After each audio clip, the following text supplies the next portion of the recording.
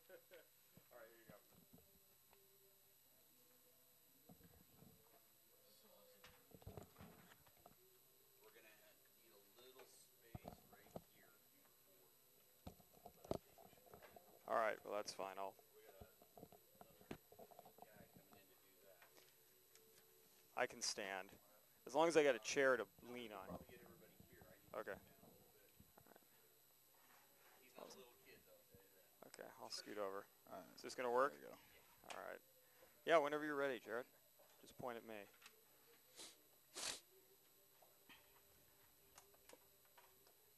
Good morning and welcome to Play on Sports live coverage of the Northern Section Baseball Championships. We are at Butte College on a beautiful day here in Oroville, California, as we get ready for the Division 5 championship game. The Maxwell Panthers taking on the Chester Volcanoes. Hope you're enjoying the action, folks, or about to enjoy the action wherever you are around the state of California, the Northern Section, around the U.S., or around the world following the action on playonsports.com. Jeff Kurtz alongside Greg Olivier, our producer today, Jared Wright, cameraman Jason Devine. We're set to bring you the first of a triple header here from Butte College. Six games today in the northern section.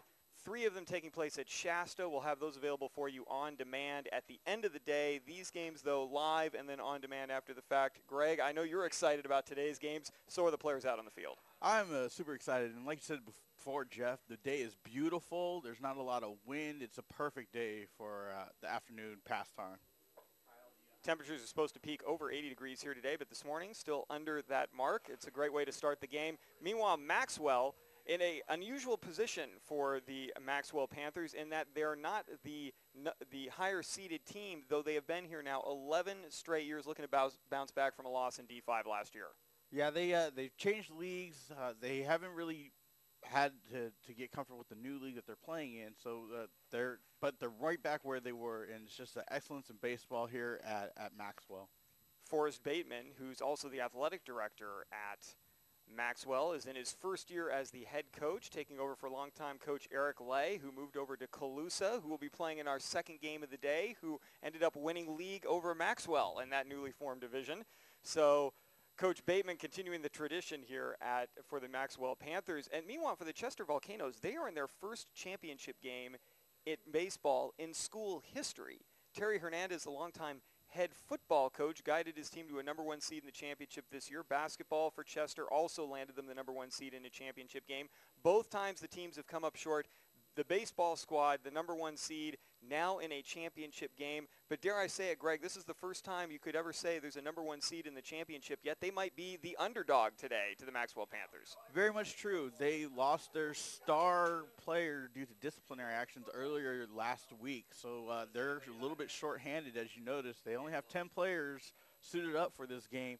Uh, and they're going to play everybody. All 10 players are going to get a taste of this championship championship atmosphere here. And Coach Hernandez starting four freshmen on top of that. It's a young squad, only one senior on the team. Maxwell coming in with a record of 22 and 6. Chester taking the field. The Volcanoes 15 and 8. They are in the green jerseys, green hats, white pants with the green striping and getting the starting nod today for Chester is Tim Cronin. Cronin with a record of 3 and 3, not the number 1 starter for this team. Hunter Morris, who's at shortstop today for the Volcanoes, only has three innings left at the high school level. You get a certain amount of innings per week, and given we've been in the middle of the playoffs, coaches have been handing those out proportionally as they can, trying to get the most out of their pitchers. So Morris all things going well, says Coach Hernandez, likely to come on in the fifth. Let's go around the defensive lineup for you for Chester before we get to Maxwell's starting lineup. Cronin again on the mound. He's going to be throwing to Tristan James behind the plate. Down at third place, third base is Damon Stevens. Hunter Morris at shortstop. Silas LeGrew at second base. Cole Connor over at first. In the outfield and left, Chris Bereznik. Isaac Thompson in center. Jason Schlueter in right field. For Maxwell, their starting lineup, Bryce Perry, the shortstop, will be batting first. Blake Vieira at catcher batting second. David Lee is the third baseman, batting in the third spot in the order. Russell Jones, the first baseman, will bat fourth. Zach Troten, the starting pitcher for Maxwell, batting fifth. Lane LeGrand is the center fielder. He's batting sixth. Scott Wells is going to be batting seventh for Maxwell. He's going to be the designated hitter for Martin Rangel. Rangel is the starting left fielder for Maxwell, but at the high school level, you can elect to use the designated hitter or not, and you can DH for anybody in the lineup, unlike in the American League and the professional ranks, where you are batting almost exclusively for the pitcher. Meanwhile, Trent Mathis batting in the eighth spot in right field. Devin Lee, the second baseman, will bat ninth. Head coach Terry Hernandez for Chester. Longtime football coach, 19 years for the Volcanoes. And he is also now in his second stint as the head varsity coach for baseball. This is his fifth year in his most current rotation, 10 years overall as he was running the baseball program in the late 90s into the early part of the 21st century, which always sounds a little odd to say, Greg, but he's, his coaching tenure has spanned two centuries. He's showing his age now, I think. but uh, showing it well. absolutely. Uh, he, he looks good. The team looks good. He said today that they were going to have to be a kind of a scrappy team and, and do, do the little things right in order to, to win this game. So you don't really hear that. I mean, when you come to these games, usually the number one seed is usually maybe a power hitting team or a really, really fast team. They don't have to scrap through. So it'll be interesting to see how this game uh, develops throughout the day. Our umpires, Doug Dresler behind the plate, Tony Campa down at first, Tony Lee at third, Bryce Perry has stepped in. Tim Cronin has gotten the sign from his catcher, and he delivers low. Or actually, no, right in there at the knees, strike one.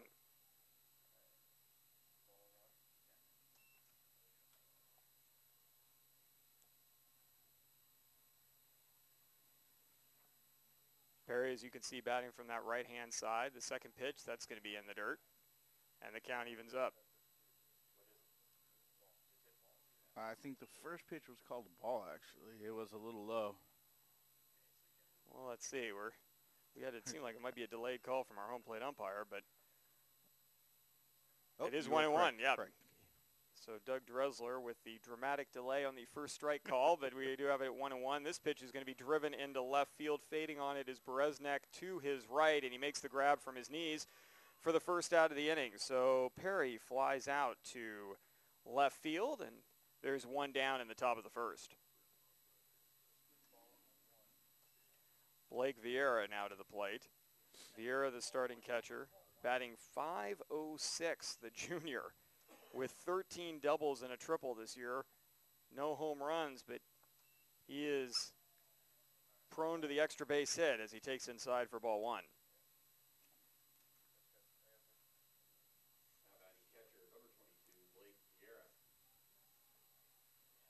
Top of the first inning.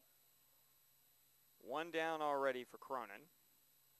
His 1-0 delivery is in the dirt, ball two. Boy, how big would it be for Chester, especially with these young players, Greg, if they can get out of this top half of the first, get those nerves out? It would be nice to, just to, to relax and enjoy the game as it comes to them here. Cronin gets a strike in there at the knees. Two and one especially for such a young team.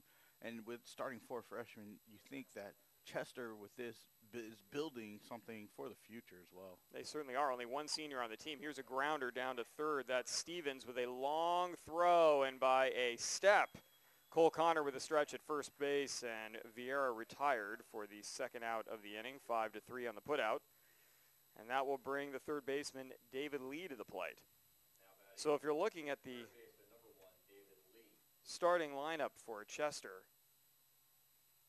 with that one senior on their team. I mean, that's that's putting a lot on your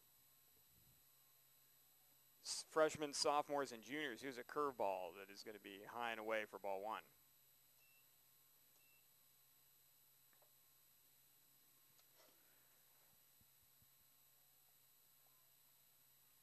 Lee looks at one in the dirt outside.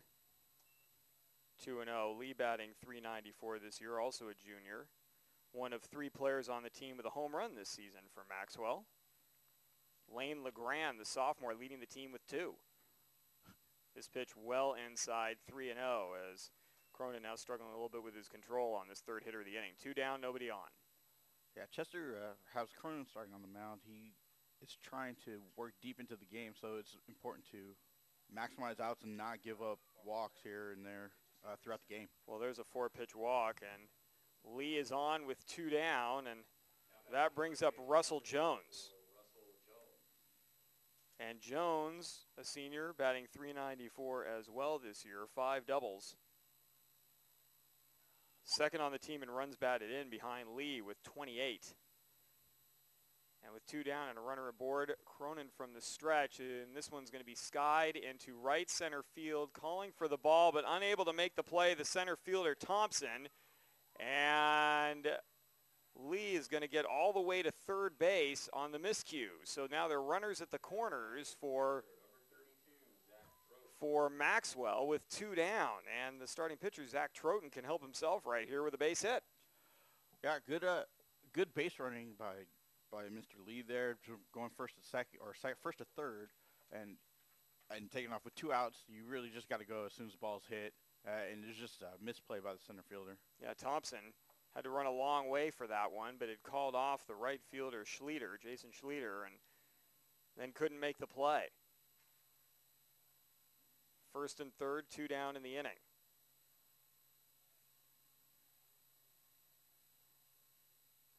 This pitch is inside. And the count evens at one and one. So Troughton, with 26 runs batted in on the season, a homer and eight doubles. Gonna look at one on the inside corner for a strike. And now he finds himself in a hole as Cronin's trying to work his way out of this jam. Lee reached on a walk. Jones on the error in center field is at first. This is in the dirt. Nice job by the catcher, Tristan James. Good stop. Blocking that one, and then looks to be hurt, a little shaken up. Yeah, he ended up taking that one. I don't know if that slipped in over the chest protector.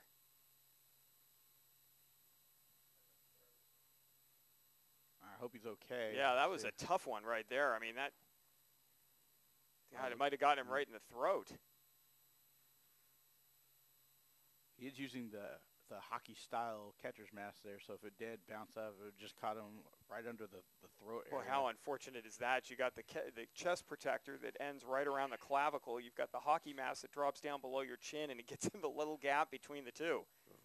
I remember back in the 70s, Steve Yeager, the catcher for the Dodgers, invented the throat protector because he got hit in the throat a couple of times, and the thing dropped all the way down. And you haven't seen anyone use that for a long time. But no, the, you see a lot of the hockey style masks now to for more protection through uh, around the face area, and it does do a little bit of protection down by the throat, but nothing as extreme as the Yeager throat protector. Well, one of the things Coach Hernandez said about Tristan James, who's one of the four freshmen playing, and a big load to handle for a freshman to be behind the plate but he said one of his very good skills is he manages the game well, and he's very, very good at blocking baseballs in the dirt. That is his specialty, and you've seen it several times here in this first inning.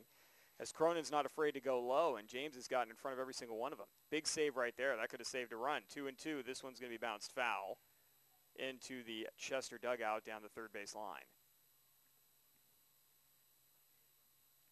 As long as Cronin can stay around the plate and, and make these hitters chase his pitches – uh, Chester will be in a very good good position throughout the day. Cronin's 2-2. This is going to be ripped foul again down that third base line by Troughton. Count stays even. You know, one of the things as a hitter as well with Cronin, he's either been right on the money or he's been way off the money. And sometimes it's hard to get a beat as a hitter if the guy's just a little bit off. Yeah, maybe you can stay with it. He's in the same general area, but if he's up, down, low, high, then he's in on the inside corner. You're not. you're like, wait, I can't get a read on this guy. Cronin 2-2 again. This one down to third, going to get under the glove of Stevens, down the line into left, then get by the left fielder Bereznak. One runner already in, hustling is Jones. He's heading for home. The throw to the plate. Jones is going to get in. Troughton's going to fake a move to third and then go back to second base. Well, Coach Hernandez said today we're going to need good defense, but defense failing Chester on those last couple of hitters, the error on the center fielder Thompson, and then two errors on that play, Stevens down the line, and then the ball getting by Bereznek in left field results in two early runs for Maxwell.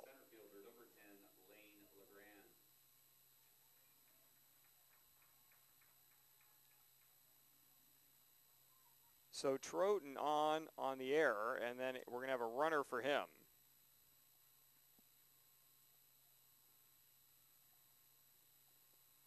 As you, you can pinch run for your pitcher as needed. He hit that ball really well, struck it well, uh, just got it right on the barrel of the bat, and it was just a hard shot down there by third. A little tough to come up with that play. Cronin with two down trying to work out of this. Ball low, 1 and 0. Well, Cronin was breezing there early on. A fly out to left, a grounder to third. He had two down in the inning, but then a walk, an error to center, an error by the third baseman, and two runs home for Maxwell as this one's going to be bounced foul. The batter is Lane LeGrand, the center fielder. Wind blowing slightly from right to left. Our flag's out in right field. Cronin's 1-1, breaking ball. This is high and away, 2 and 1.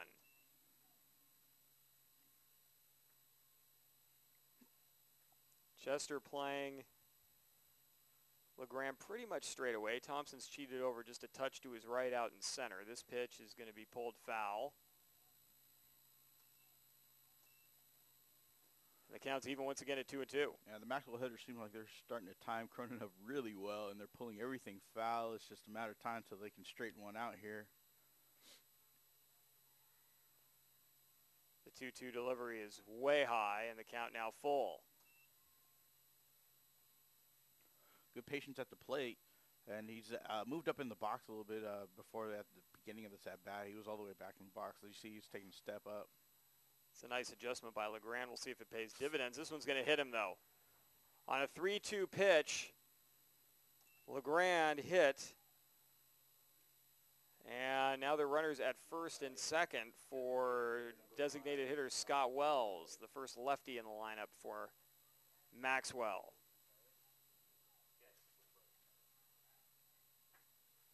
Well, we discussed a few minutes ago, Greg, about how great would that be for Chester to get a 1-2-3 inning. They were two-thirds of the way through it, and now staring at a little bit of trouble, already down 2 nothing. This pitch is in there for a strike. Right at the knees. Boy, when Cronin has been on, he has been on exactly where you want to be. Right, low and at the knees. It's tough to hit that pitch. First and second for the Panthers. This one is in the dirt. James blocks it. The throw down to third is going to go into left field. And that will get another run in for the Panthers. And over to second base goes LeGrand. So the throwing error by the catcher, James, who blocked the ball nicely in the dirt, but then trying to get the runner advancing to third base on the play, threw it into left. Ugh. And that's a tough break right there for for Chester as here's a ground ball to Silas LeGrew and he handles it over to Cole Connor for the end of the inning, but not before. Three runs are aboard for Maxwell. Top half of the first in the books. 3-0 Panthers in this Division 5 championship game. You're following the action here on PlayOnSports.com, your destination for high school sports. Do you want to watch more of your school's great matchups like the game you're enjoying here today? Tell your school to sign up for Play on Sports School Broadcast Program. The program allows schools to broadcast all their games and other activities on the web. For more information, go to playonsports.com slash SBP. Jeff Kurtz with Greg Olivier as we get ready for the bottom of the first inning. And let's get you set up with the defensive alignment for the Maxwell Panthers and the starting nine batting lineup for the Chester Volcanoes. First, Zach Troughton out on the mound, a record of six and three on the year for Maxwell. He'll be throwing to Blake Vieira behind the plate. David Lee down at third base. Bryce Perry over at short. Devin Lee at second base. That is David's brother, Russell Jones, at first.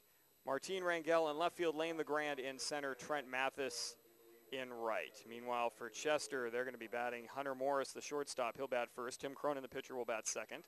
Cole Connor at first base, batting third. Spencer Lee is the designated hitter as Coach Hernandez playing all 10 on his roster here today. He'll be batting for the second baseman, Silas LeGrew.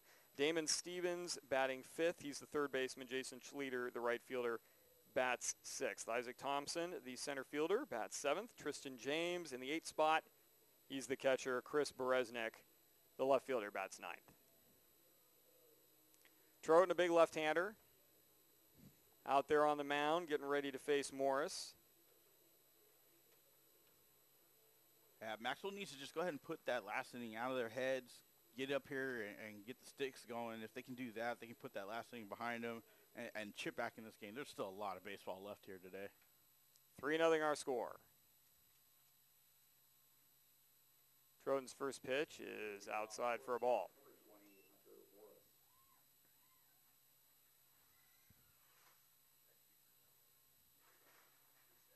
That one also a little bit outside, 2 and 0.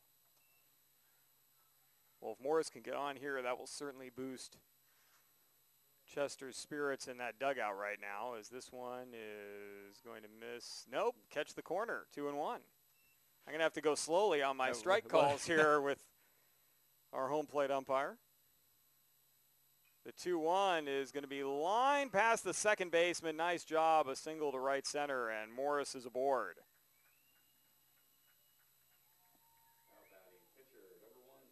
Nice bit of hitting there by Morris, Greg, as Troten was away, away, away, and Morris went with that pitch to the right side and gets a base hit. Absolutely. Good piece of hitting right there. Just a line drive right back up the box. He was patient, waited for his pitch, and did what he could with it. Now batting is Tim Cronin with a runner on, nobody out. And Cronin looks at one high, 1 and 0. I hesitated there just to make sure. you have to. It's just that little. Uh, okay. Cronin batting 340 this year. Just one extra base hit. Here's a toss over to first base, and Morris is back in easily.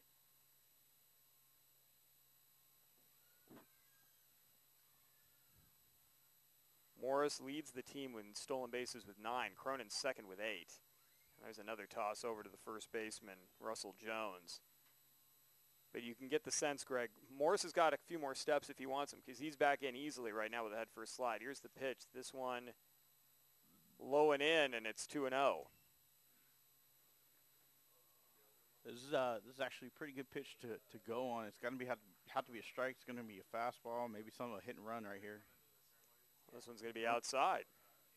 Or outside. 3 and 0. so Troten looking like he's still trying to find a bit of a rhythm here in the bottom of the first inning. Yeah, I wouldn't be surprised if Cronin's taking here all the way. Cronin is going to look at one, and that is going to catch the outside corner, 3 and 1. Terry Hernandez coaching down at third base.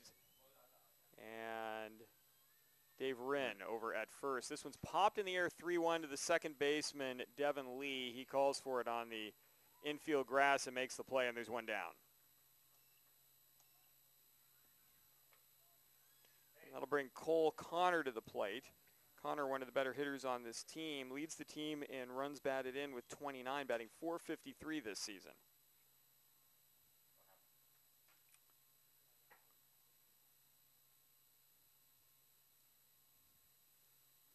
Coach Terry Hernandez was saying that uh, that Cole Connor was the quarterback for the football team as well. So he's got a lot of athletic ability here. First pitch is a strike on Connor. One down in the inning. Morris gets his lead at first. Swing and a miss. And going to be strike two on Connor, who finds himself in a hole. Spencer Lee on deck.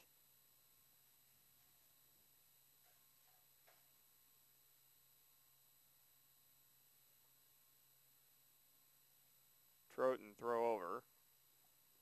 That time Morris didn't even need to slide, so again, he's got some room if he wants it.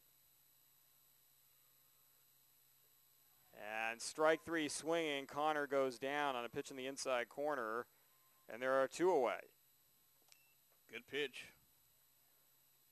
Put them away. It's tough to hit those those low and away ones, especially when you hit those spots early in the, in the count.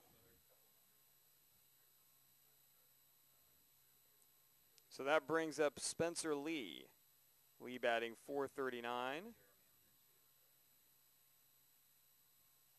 three doubles on the year. That one's just going to miss just off the outside edge.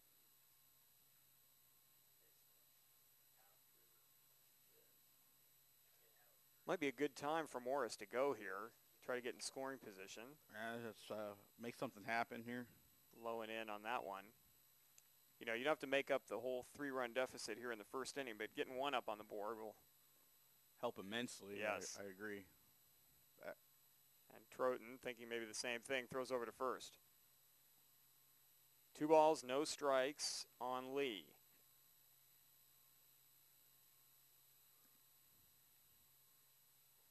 That one's outside oh. and then thrown into right field. Well, this is going to get Morris over to second base.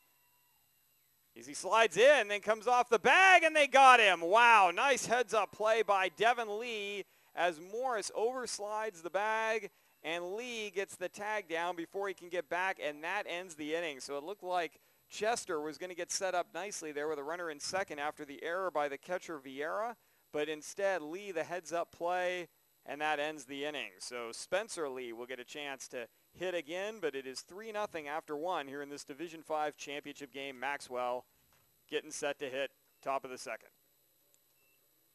Play on Sports is on Facebook and Twitter giving you news and information and links to great highlights. Follow us on Play on Sports on both Facebook and Twitter.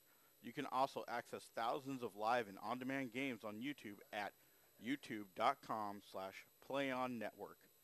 Keep up with all the high school action every week from your destination for high school sports, playonsports.com. Well, Greg, one inning in the books, and Maxwell doing a nice job defensively and then taking advantage of some early Chester mistakes. Yeah, just uh, unfortunate. Uh, and Coach Hernandez said it too that we have to play solid defense uh, to to keep the game close, and it's just not the case here. Just a couple miscues here and there. Grounder gets under a glove, it gets by center fielder, misses a fly ball. So, and that very quickly turns into three runs. So you're in a hole. You just got to keep fighting though. As we turn our attention to the top of the second inning, Maxwell. Let you know they're going to be sending up here. They've got the bottom of the order, Trent Mathis and Devin Lee. Then they're going to rotate back to the top in the form of Bryce Perry. So it's your 8, 9, and 1 hitters. Good spot to be in if you're the visiting team. You want to go ahead and, and, and put up put up some more pressure on the home team, and hopefully you can almost beat them into submission at this point if they put up another three spot. Cronin's first pitch going to miss outside ball one. As Trent Mathis this year. Probably the first to tell you not his best season at the plate batting average wise. This one's in the dirt ball two, batting 158 the junior. Nine runs batted in. Nine hits as well. So when he's putting the ball in play, yes, that is efficient right there. That one's going to catch the inside corner for a strike, two and one. I'll tell you what, he might, his batting average may not be where he wants it to be, but he takes advantage of those hits. Yeah, every time I get a hit, I get an RBI. I'll take that every day. This one is going to be a swing and a miss, and the count is even at two and two. Cronin has given up three runs in the game, but none of them earned so far.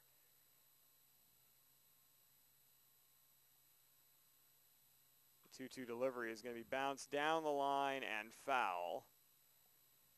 And Damon Stevens is going to have an active day, I think, down at third base. He has had a number of balls hit his way. I just, uh, they don't call the hot corner for no reason there. The sophomore has seen a number of foul balls down that third base line. A couple have been hit to him. He's made a play on one. Here's the 2-2. And it's going to be swung on and missed, but the ball gets away from James. Here's the throw down to first base, and he's going to retri- retire Mathis. So Mathis didn't re- recognize right away as he checked his swing that the ball had gotten away from the catcher. If he hadn't bounced right away, he might have gotten there. Yes, absolutely. Uh, yeah, I think that roll all the way back here to the fence. So a strikeout, and then uh, catcher to first put out retires the leadoff batter in the inning, and that brings up Devin Lee. Lee batting 270 this season, three extra base hits, all doubles. the second baseman. This was one up and in, ball one. We mentioned earlier that Devin Lee and David Lee brothers, Devin a freshman, David a junior. Low and in ball two. Got to be got to be nice for the freshman to have that kind of uh, elderly leadership and, and your brother there too to help you out throughout the whole process. And they'll have another year together next year too. So the 2-0 pitch is low and in ball three. I suppose that depends on the day. when you're with your brother, that can depend on the day. One down in the inning, the 3-0 delivery from Cronin. And that one's in the dirt as well. And down to first on the walk goes Devin Lee. And I know Tristan James is young, but if that kid can put on some skates, he might have a future as an NHL goalie at some point along the line because he's got that butterfly stop going today. Cronin is throwing a lot that are low, and James has been blocking everything. Back to the top of the lineup, Bryce Perry flew out to left in the first. This one's in the dirt again. James is going to knock it down, but no chance to make a play on Lee, who is running. And Lee is down to second base on the wild pitch. So Perry, who flew out to left to begin the game 0 for 1, runner in scoring position with one down and a 1-0 count. And Perry is going to bunt, and he's going to bunt foul. Good idea to get the runner over to third. Though an interesting debate happening, especially in the professional ranks, about the value of the sacrifice bunt. You've got your sabermetric supporters who say you're giving away an out and there's no reason to bunt at all. Then you've got your traditionalists who are saying, hey, if you want to move the guy over. So it's interesting to see the statistics versus the history of the game. This one's down the line, going to get under the glove of Stevens. Perry says, what bunt? I'm going to drive in a run. And hustling around from second base, Lee is going to score standing up. And on the single by Perry, he's given his team a 4-0 lead.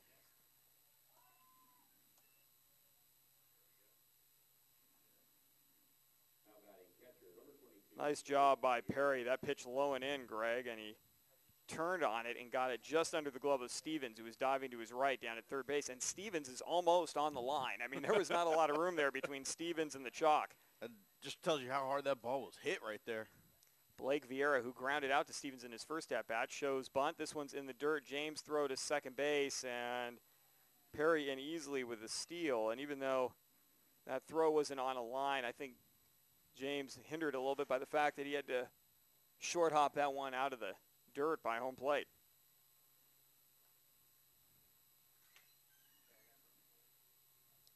One down in the inning. Turning and showing bunt again. This one low and outside, and down to third goes Perry again. So he's got two. 2 and 0. Runner at third base, one down in the top of the second. Already 4 nothing. Maxwell. Cronin from the stretch with a runner at third. This one high in the air to left. This could get a run in. Now fading into foul ground and making the catch is Bereznek. Nice job staying with that baseball. That is the second out of the inning, but on the sacrifice fly, the run scores the RBI by Vieira, and it's a 5 nothing ball game. Gets the job done. Got another run up on the board. It's uh, it's going to be tough for for them to come back now. Well, only one hit in the game so far for for Maxwell, but five runs on the board. Here's the breaking ball to the number three hitter, David Lee, who walked with two out and came around to score in the first inning. He takes outside ball one. This one is going to be fouled straight back over the press box here at Butte College. Fantastic facility here at Butte and a long time home for half of these Northern Section Baseball Championships. The 1-1 is going to be bounced towards short, ranging into the hole is Morris. Long throw to first, good stretch by Cole Connor, and that retires David Lee to end the inning, but not before. Two more runs up on the scoreboard for Maxwell. They've gotten a crooked number in the first and the second. They lead it 5 nothing here at Butte College. Bottom of the second coming up. You're following the Northern Section Division 5 Championships right here on PlayOnSports.com, your destination for high school sports. Play on Sports will have live coverage of the Northern Section Track and Field Finals on Friday, May 24th. You can also watch highlights from the championships of every spring sport in the Northern Section on PlayOnSports.com. Don't forget to check the Play On Sports broadcast schedule page for information on all of our upcoming broadcasts from around the northern section and beyond. The spring championships are here only on playonsports.com. It'll be Spencer Lee, Damon Stevens, and Jason Schlueter, the three in the order we're going to face. Zach Troughton in the bottom of the second inning. Lee in particular with a bit of an advantage, having seen a number of pitches.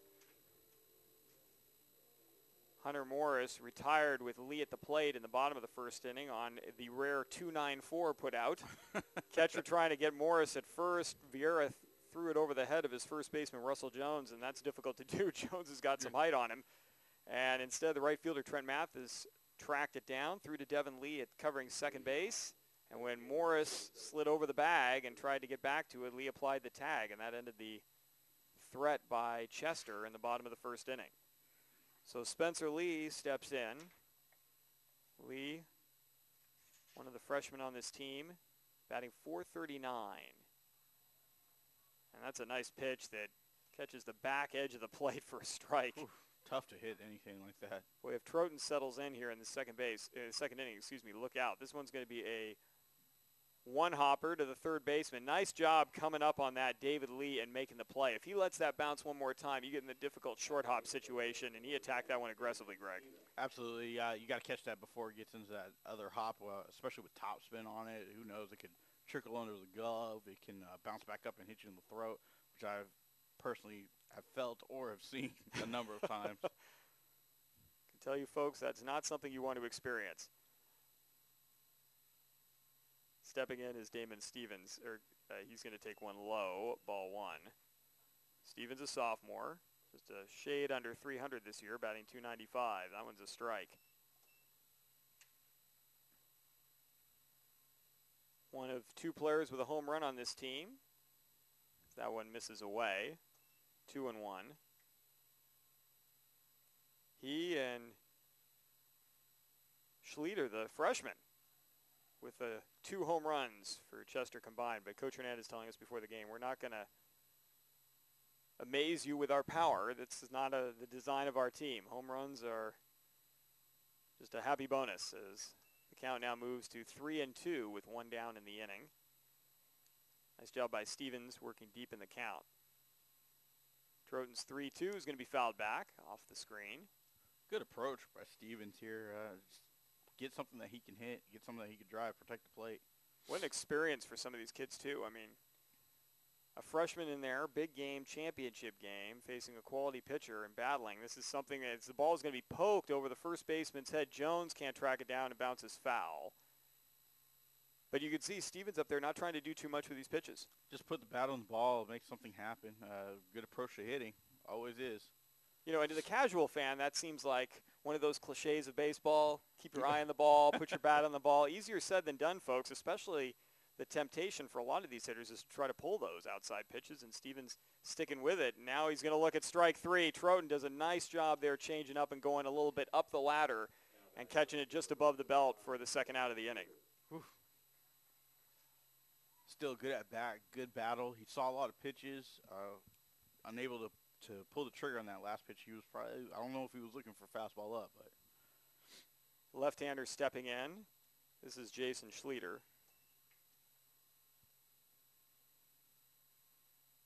Schlueter batting 222 this year.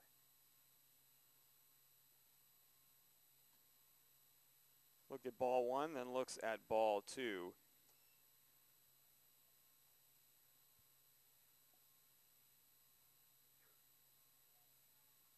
That one's in there for a strike, and the count is now two and one. Two down, nobody on. A 5 nothing Maxwell lead in the bottom of the second inning. One's going to catch the outside corner again, and the count even at two and two. Troughton's got great movement on these pitches. The 2-2 delivery. That's going to be low, and the count runs full again. Second batter in a row. Good approach by by the Maxwell batters here, or by the Chester batters. The 3-2. That's going to get the outside corner strike three. Well, two times Troughton goes to a full count, and both times he catches the Volcanoes looking. Third strikeout of the game through two innings of play. It's a 5 nothing lead for Maxwell. We move to the top of the third inning. Do you want to watch more of your school's great matchups like the one you're enjoying here today? Tell your school to sign up for the Play on Sports School Broadcast Program. The program allows schools to broadcast all their games and other activities on the web. For more information, go to playonsports.com slash SBP. Tim Cronin out for his third inning of work. He has yielded two earned runs so far, five total, and he'll be facing the four, five, and six batters in the order for Maxwell. It'll be Russell Jones, Zach Troughton, and Lane LeGrand. Just amazing right now, Greg, that you've got five runs on the board if you're Maxwell, and you've gotten one hit. I mean, we could say Cronin is working on a one-hitter here, but but I don't think he'd be too happy with this particular one-hitter given he's trailing by five runs at the moment. Not at all. But uh, good pitching by He's just got to stay a little more consistent and around the plate uh, to get these hitters to chase. He bounces on a lot of his, his off-speed stuff in front of the plate, so it's not even an option for these hitters to chase at that. If he can keep it up a little bit more so it gets to the plate, then maybe he can get them to start fishing and really not even put the ball in play. You know, we talked earlier about how sometimes it's difficult as a hitter when the pitcher's all over the place and then suddenly they catch the strike zone. It's difficult to get your timing down, but after you see him once and you start to figure that out, now you're just waiting for something where you want it and ignoring everything else, especially Absolutely. if he's not nibbling on the corners. Absolutely, and uh, uh, we'll see how those Maxwell hitters go through the second time in the lineup, seeing Cronin. Well, Russell Jones extended the first inning on a pop-up to short right center field. Isaac Thompson overran the ball, couldn't make the play, and that error resulted in a run. Here is a great attempt by Bereznek going to his right out in left field, but he can't come down with a ball on a diving effort and Jones is going to roll into second base with a double.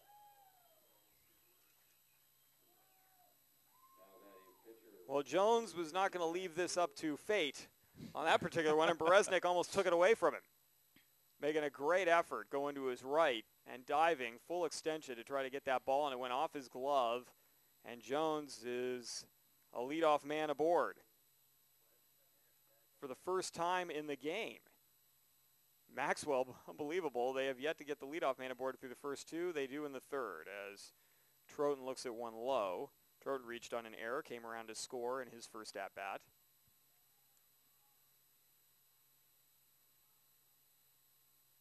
Cronin in the dirt.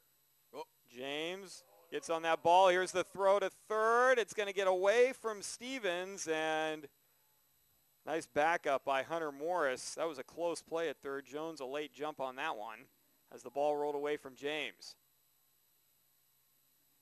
Almost had him. Uh, that was a close play. You could hear the, the stadium go, oh, as he took off running. Uh, James didn't have to go far to go pounce on that ball, so. Troughton looks at one, and that's going to be high, 3 and 0. So runner at third, nobody out. Cronin going from the full windup.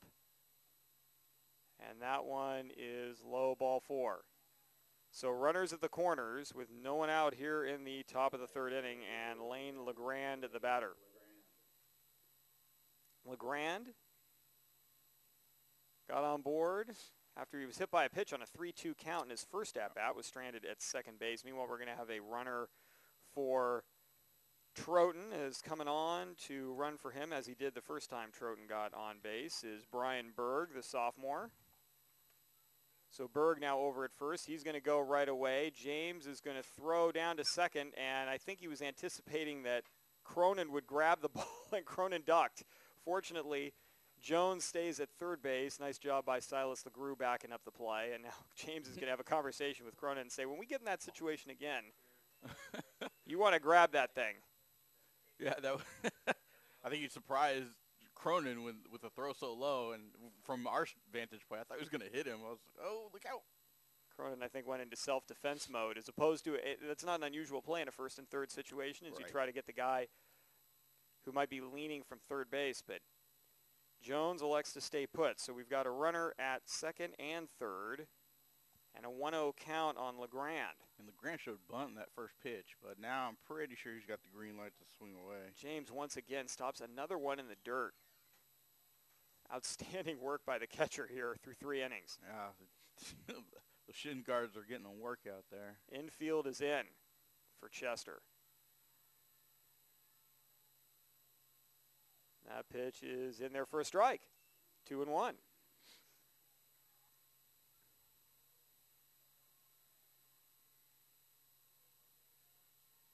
Jones gets his lead from third. Cronin now in the stretch. Delivers. This one's going to be popped foul on what might have been ball three beyond the third base coaching box, and the count evens at two and two. That one was way up and in. Yeah, I thought I had a chance of hitting him again. And he really turned on that ball. He certainly did. Got that ball may have hit just above his hands. the 2-2 pitch. And that one is strike three. Nice job by James hanging on to that baseball, and that's the first out of the inning and a big one. And that'll bring Scott Wells to the plate. Wells bounced to LeGrew in the first inning.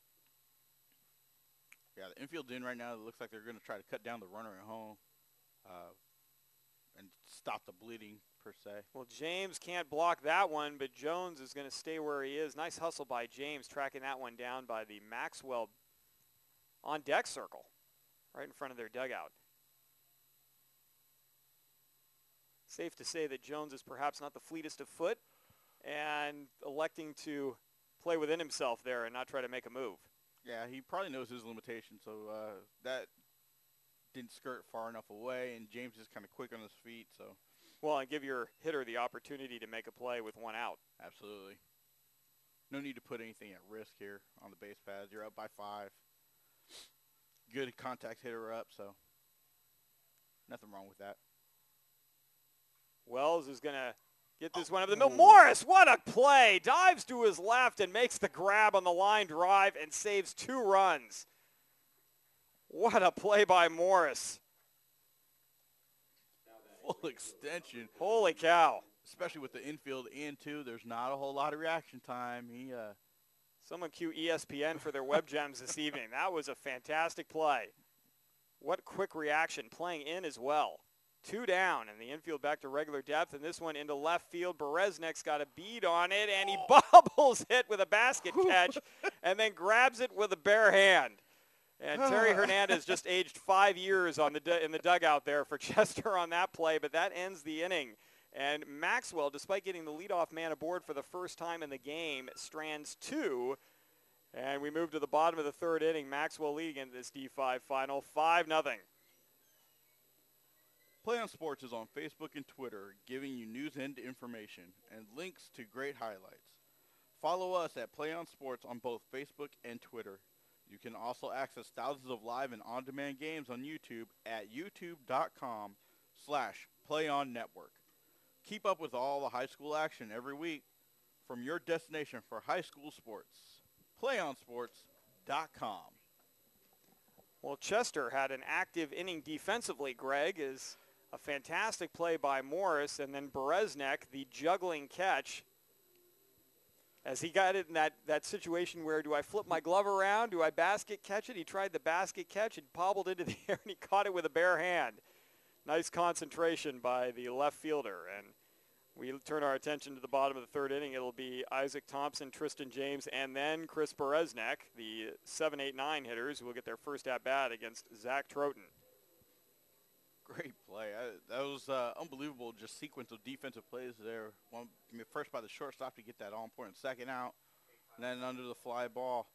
Uh, great concentration, like you said, and, and gets the out and gets out of the jam, which it really could have been painful if that ball falls. Well, that I mean, you could have had two runs on that base hit up the middle if Morris doesn't make that outstanding play at short, and then again the opportunity. Bereznek drops that ball. Guys in motion with two outs on contact. That's two runs right there. So nice job staying with the play, Bereznek, as Thompson steps in, the center fielder, and he looks at one well outside for ball one. Thompson this year batting 143, only 21 plate appearances, pressed into service late in the year. And he has stepped into the center field role, takes a strike. Yeah, I see the defensive lineman, the center fielder is way over in right center. Swing and a miss, strike two. An unusual statistic here. Thompson, two for 14 this year, but in his 21 plate appearances, seven runs batted in. I haven't seen too many Chester games this year, but he's either a sacrifice fly or sacrifice butt machine. He's going to ground out to third base right there, and nice job by David Lee coming up and making the play, and we got one down in the inning. And Tristan James steps in. And James right now in the lead for a guy who's most going to need an ice bath after this game, having blocked so many balls in the dirt. Either that or he's going to need a new chest protector, and we're going to start a fund up here in the press box for him. He has been working that thing today, but he's been all over it behind home plate, and he's going to take the first pitch for a strike on the outside corner. James, just a freshman. This is only his 19th plate appearance of this season, and he's going to swing and miss at strike two. Looks like Coach Hernandez does have a lot of talent that he gets to work with for the next four years, and all this will do, uh, if anything, is give that experience of playing in championship level games. Troughton way outside, and the count is now one and two. One down in the inning, bottom of the third. That one's going to be bounced right back to Troughton, ranges off the mound, and the underhand toss to Jones records the second out of the inning. 1-3 on the putout. And the left fielder Bereznek to the plate.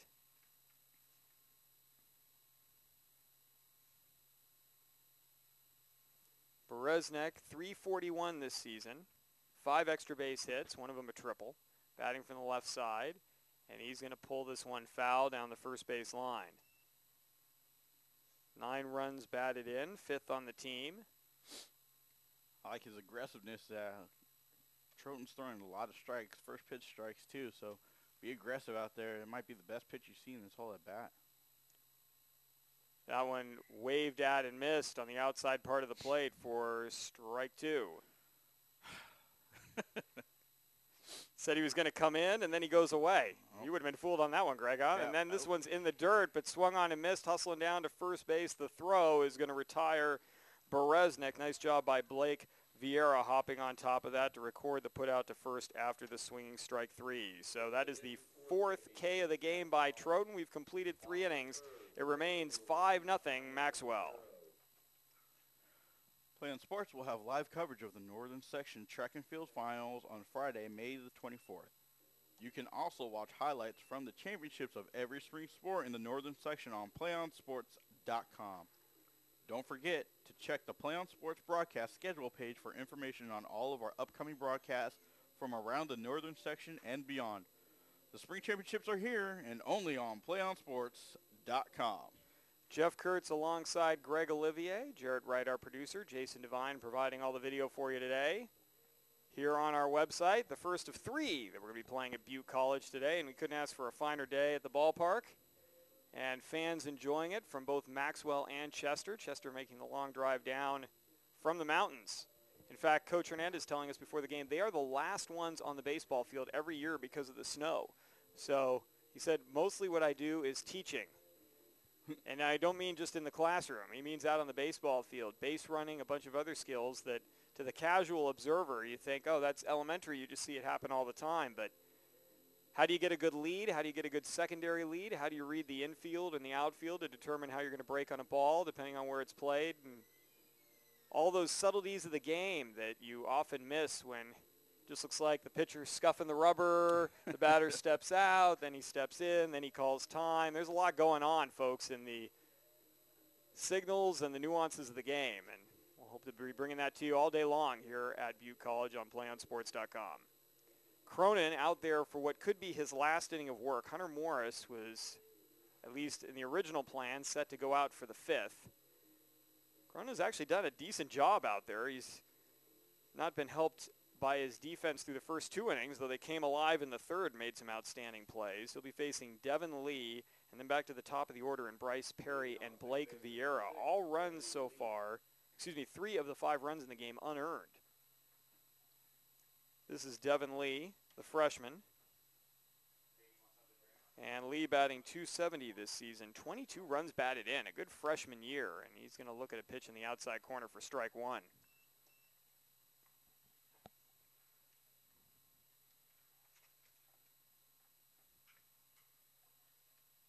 Outfield playing straight away. This Look one out. is going to be a curveball that gets away from Cronin.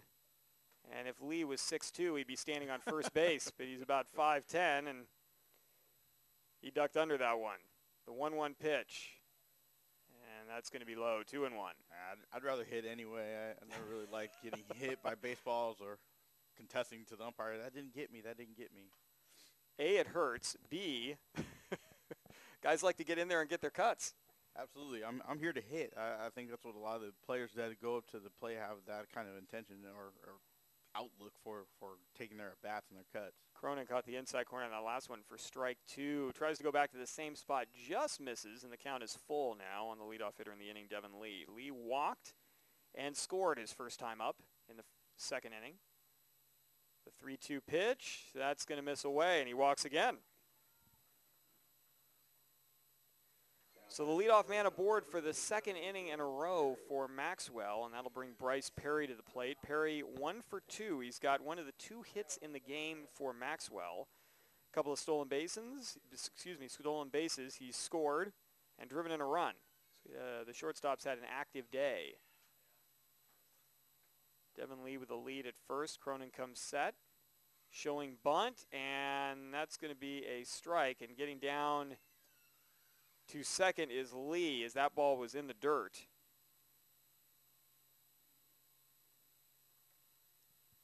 And so on that play, Lee advances.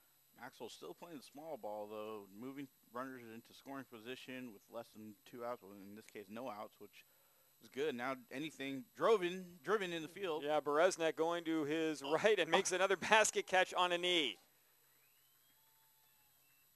I tell you, I got to think that Coach Hernandez is aging every time Bereznek is making plays out there. Nice job by Bereznek concentrating on that one for the put out in the first out of the inning. That's the second time Perry has been retired by Bereznek in the game.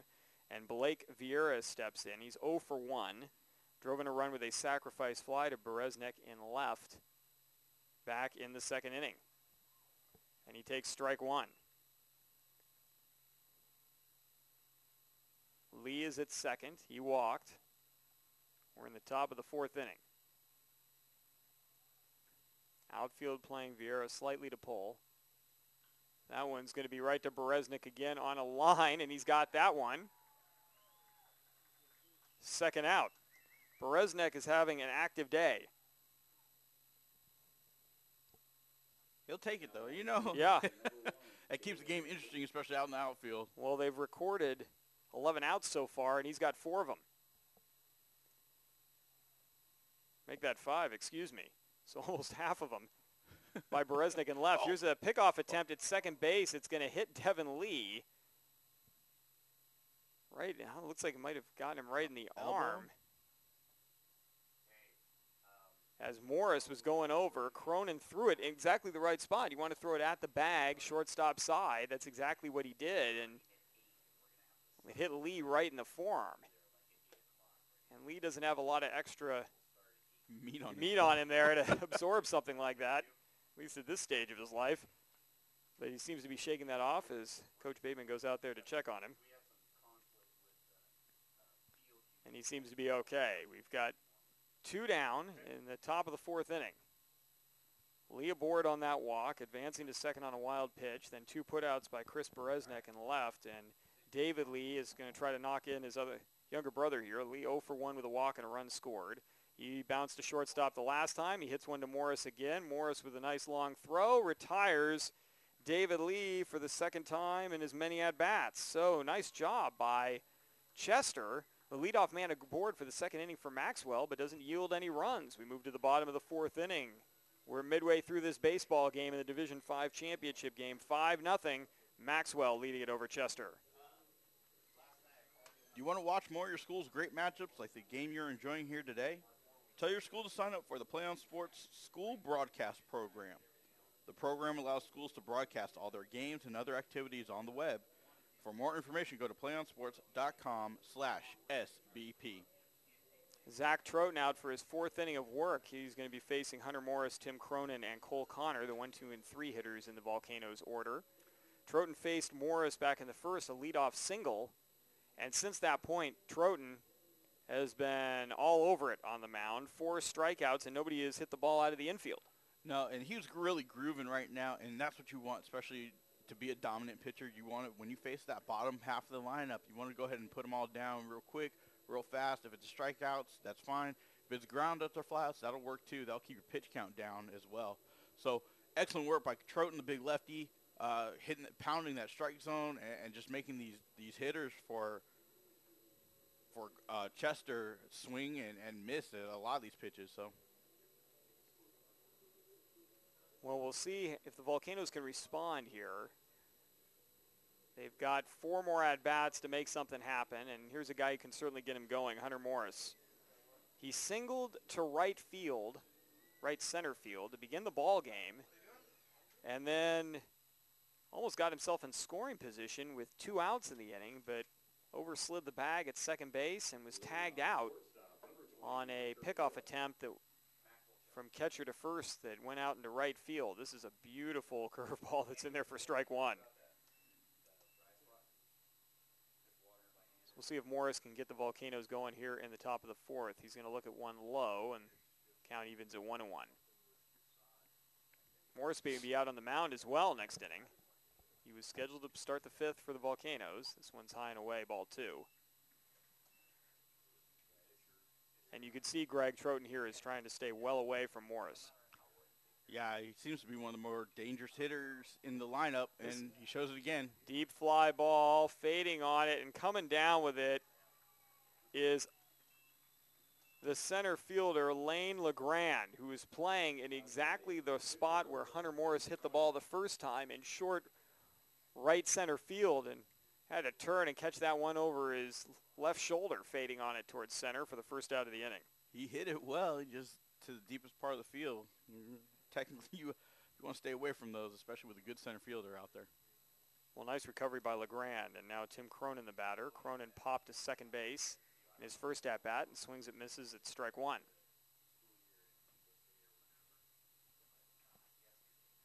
Strike two on another swing and a miss. Very aggressive at the plate is uh, Tim Cronin. Well, and Cronin looks like he's being fooled by the off-speed stuff by Troughton because his head was pulling out on that one. This one is low and in, one and two.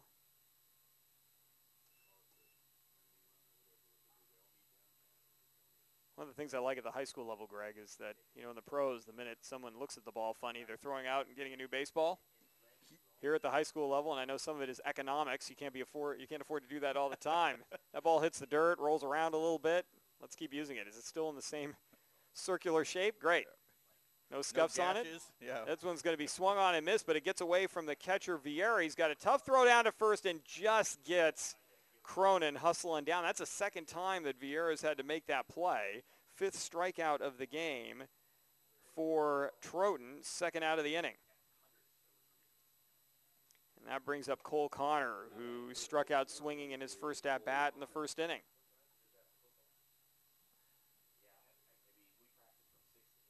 Nice job by Vieira bouncing on that one quickly, and Connor swings and misses at strike one. And that was a, somewhat of an uncommitted swing. Yeah, he was swinging he, at it, but he wasn't too happy about it. I think he was a little fooled on the pitch. Swings and misses at strike two.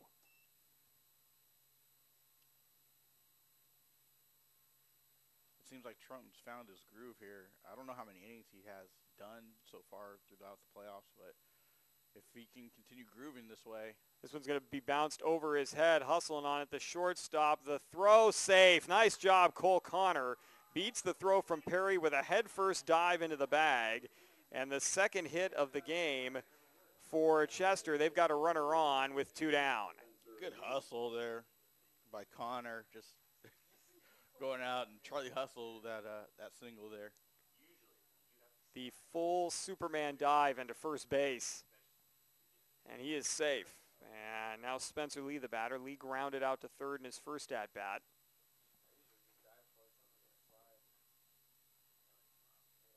That's a swing and a miss on a pitch on the inside half of the plate, strike one. Good cut by Spencer there. Troughton is going to throw over, almost gets, oh, he did get Connor leaning, wow. Connor was leaning right and then didn't dive back into the bag thinking he could get in there standing up and Troughton picks him off. And that is how the second, or excuse me, the fourth inning comes to a close.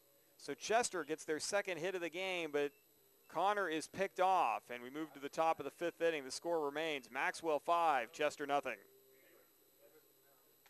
Play on Sports is on Facebook and Twitter, giving you news and information and links to great highlights. Follow us on Play on Sports on both Facebook and Twitter. You can also access thousands of live and on-demand games on YouTube at youtube.com slash playonnetwork.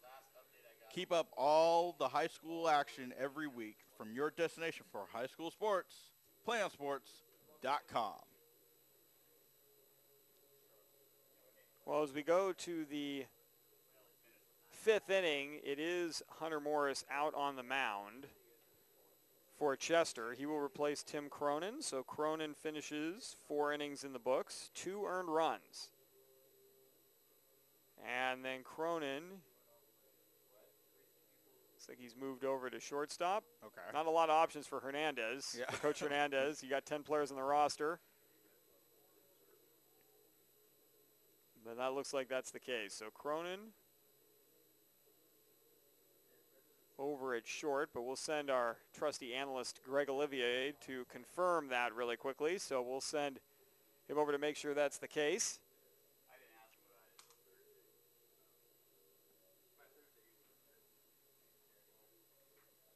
In the meantime, Hunter Morris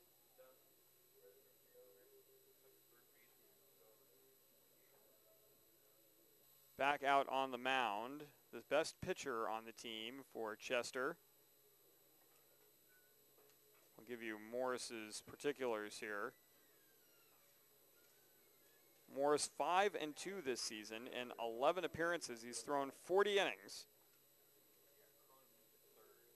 as we've got an update. So Damon Stevens is now over at shortstop. And Tim Cronin has moved to third base. So Cronin, four innings, two earned runs, five total. He is the pitcher of record right now for Chester as we are in the top of the fifth inning. Russell Jones, Zach Troughton, Lane LeGrand set to hit for Maxwell this inning. They are the four, five, and six hitters in the order. And Russell Jones, who doubled and is also reached on an error by the center fielder Thompson, scored a run and stranded at third in the third inning. Just watching his approach earlier, uh, at his first two at bats, he's really aggressive at the plate. I wouldn't be surprised if he swung at the first pitch here. Morris, his first delivery is a breaking ball that is going to be low for ball one. Jones checking his swing.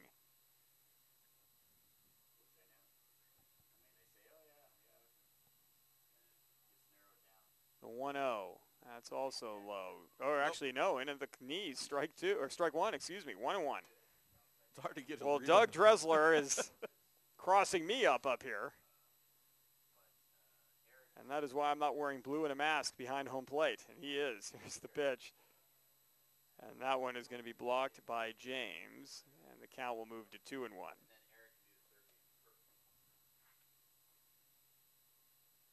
Outfield playing Jones to pull to left. That one is down, and the count is now three and one.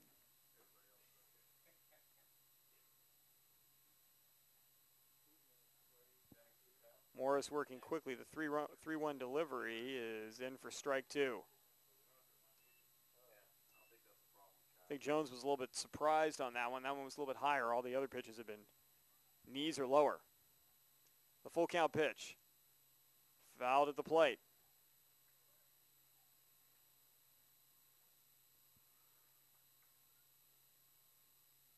Good pitch by Morris to to challenge Jones there. To he's looking for the punch out. I think uh, on the full count here. See what he does here. Morris goes with a curveball and gets him looking. What a great pitch. Good curveball. Started in on the hands and just ended up in in the strike zone. Uh, I think it just froze Jones there. Maxwell just two hits in the game. Each team with only two hits. And Zach Troughton now the batter. Troughton reached on an error, scored in the first, walked in the third. And then Brian Berg, who was running for him, was stranded at second base. James digs this one out of the dirt, ball one.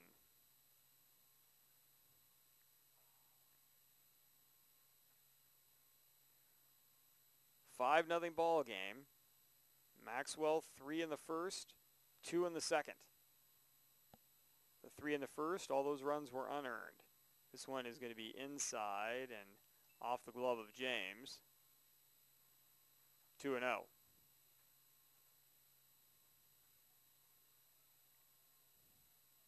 Troughton has been cruising. He's only given up two hits himself. This one is low and away, ball three.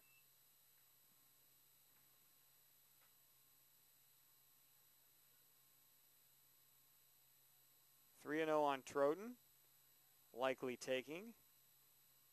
He does, and he takes strike one.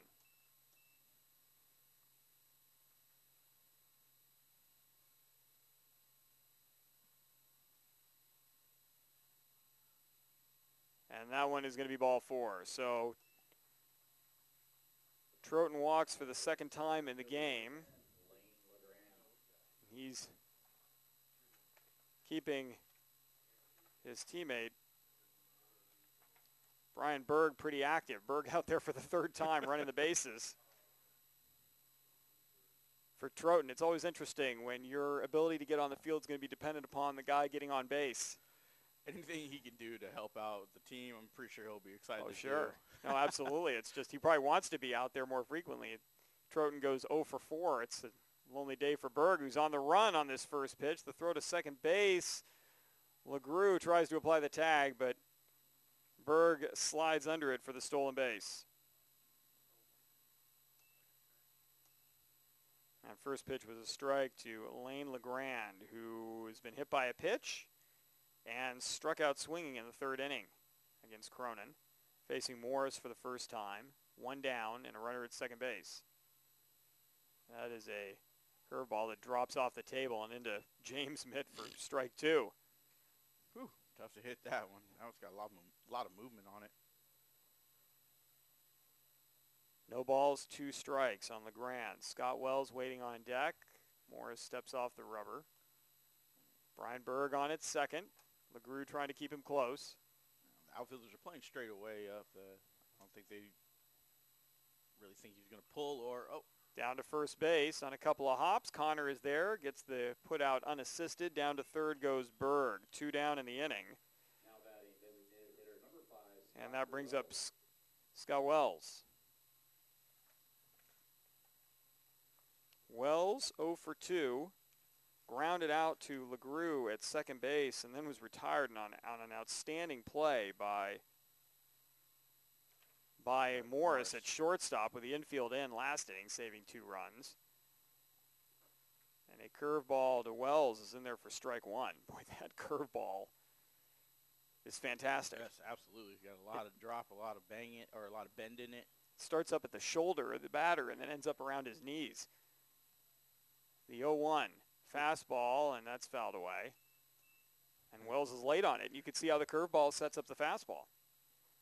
Uh, good pitching here by Morris. The way to change it up, switch it up a little bit. Hit him with curveball, hit him with fastball. Let's see what he does here for. Boy, Wells is right on the chalk in that batter's box, and he's going to try to punch it up the middle. It's a slow roller. Stevens is going to have to hustle, and he took too long on it, and that's going to get a run in on an infield single, and then trying to get to second as Wells. Connor's throw, and Wells is out. What a throw by Connor. But the run counts. So Stevens, I don't know if he got a bad read on that ball, which was off the end of the bat and was spinning oddly, but Wells gets the infield single, drives in the run, and then is retired trying to extend it to second base after the ball got away from Cole Connor at first, but Connor retires him. And that will end the top half of the fifth, but Maxwell gets another run aboard. They lead at 6-0 here in the Division 5 Northern Section Championship game from Butte College. You're following the action on PlayOnSports.com, your destination for high school sports. Play on Sports will have live coverage of all the Northern Section Track and Field Finals on Friday, May 24th. You can also watch highlights from the championships of every spring sport in the Northern Section on PlayOnSports.com. Don't forget to check the Play on Sports broadcast schedule page for information on all of our upcoming broadcasts from around the Northern Section and beyond. The spring championships are here only on PlayOnSports.com. Well, Greg, Chester's running out of time here. They've got three more at-bats. Troughton has pretty much had their number most of the game. He surrendered just two hits. And he'll be facing the four, five, and six hitters in the order for Chester, Spencer Lee, Damon Stevens, and Jason Schlueter. What does Chester have to do differently here offensively? Other than the obvious, get hits and base runners. But, I mean, what in particular is going to help them do that against Troughton, who's been cruising, five strikeouts? Uh, continue working the at-bats. Uh, make th- Troughton throw more pitches or, or a lot of pitches uh, and get his pitch count up. Maybe and at that point, his arm will probably start getting tired. Pitches will start being up in the zone, and those are the ones that you really want to drive. So, well, the batter is Spencer Lee, and this is only his second at bat of the game. Though he's been in the box three times, I'll explain that in a moment as he looks at one way outside for ball one. Grounded out to third in his last at bat. He was up in the first inning, but while he was up, Hunter Morris was thrown out at second base, as that one's a strike one and one. So he continued on a fresh at bat in the second inning, and now here he is in the fifth. the 1 1 pitch swung on and missed on a breaking ball, and the count is 1 and 2.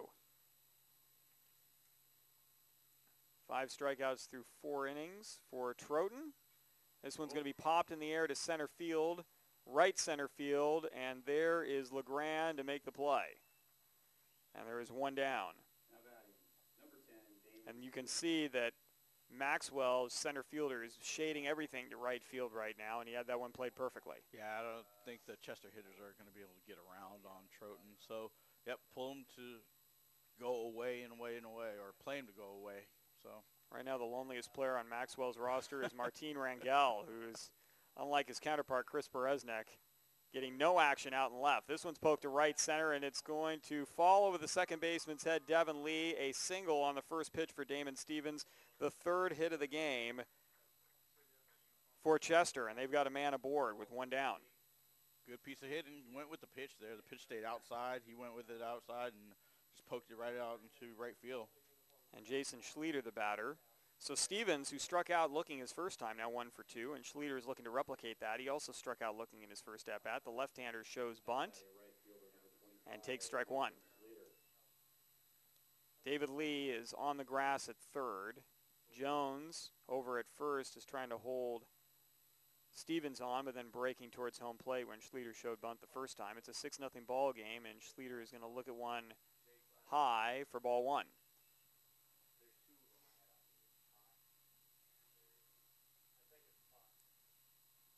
The 1-1 pitch. Bounced up the middle. This could be two. There is Perry with a throw over, and that is the double play. Perry gets second base by himself and then retires Schlueter at first on a throw to Jones. So the 6-3 double play ends the inning and the threat by Chester. We move to the top of the sixth inning, and Maxwell comfortably in front, 6-0 in this Division 5 championship game. Do you want to watch more of your school's great matchups like the game you're enjoying here today? Tell your school to sign up for the Play on Sports School Broadcast Program. The program allows schools to broadcast all their games and other activities on the web. For more information, go to playonsports.com slash SBP. It'll be Mathis, Devin Lee, and Bryce Perry for Maxwell as we go to the top of the sixth inning. Hunter Morris back out on the mound for his second inning of work, and it was a productive first inning, though he did give up a run looks like we're going to have some changes here in the lineup for Maxwell. And we'll bust out our rosters here, folks, and get you up to date as quickly as possible. So it looks like Hunter Ortiz might be batting for Trent Mathis here. He's in the on-deck circle.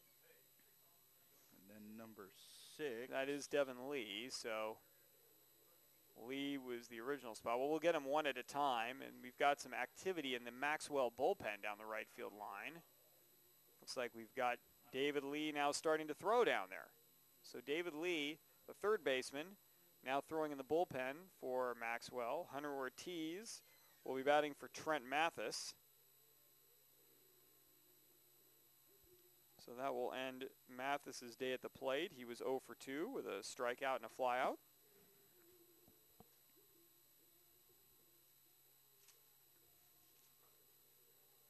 And to the plate, Ortiz this year.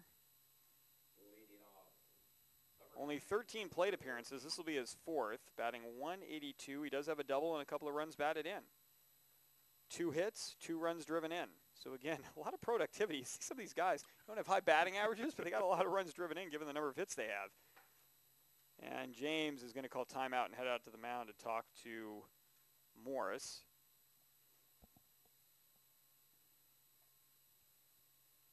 Yeah, it seems they all come up in big spots here, driving a whole bunch of runs.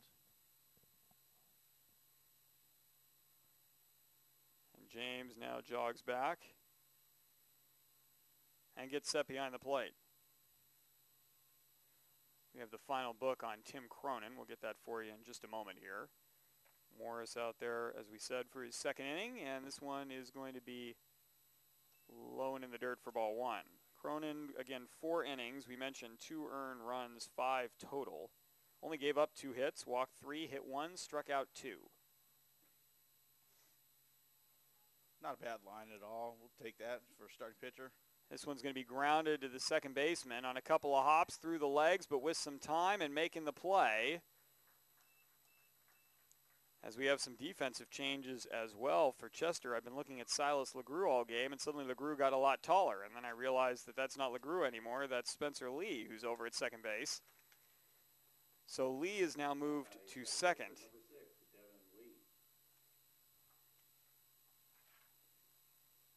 So Lee now not only was he the DH, but he is the second baseman. And there's one down in the inning. So we're trying to keep track of all the paperwork up here for you as Ortiz retired one down on the ground out and De Devin Lee the batter. He has walked twice and scored.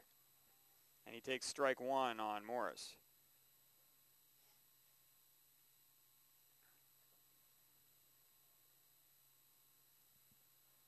Spencer Lee playing Devin Lee in the hole at second base. This oh. one's going to be popped in the air towards Spencer Lee, but coming on is the right field. Oh, oh and I think Spencer Lee was called off by Schlueter, and Schlueter was saying that ball was not that far from you. I was just hustling to see if I could back you up or make a play, but Spencer Lee let it go, and that's going to show up as the shows up as a line drive in the book. There you Greg, go. It's a single to short right field on the miscommunication between the right fielder Schlueter and the second baseman Spencer Lee. So a runner aboard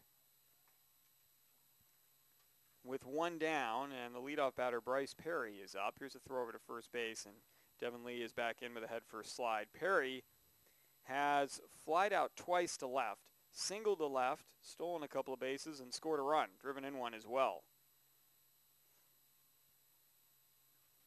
Good day for your leadoff batter there. Sir, and, and your number nine hitter has reached base all three times.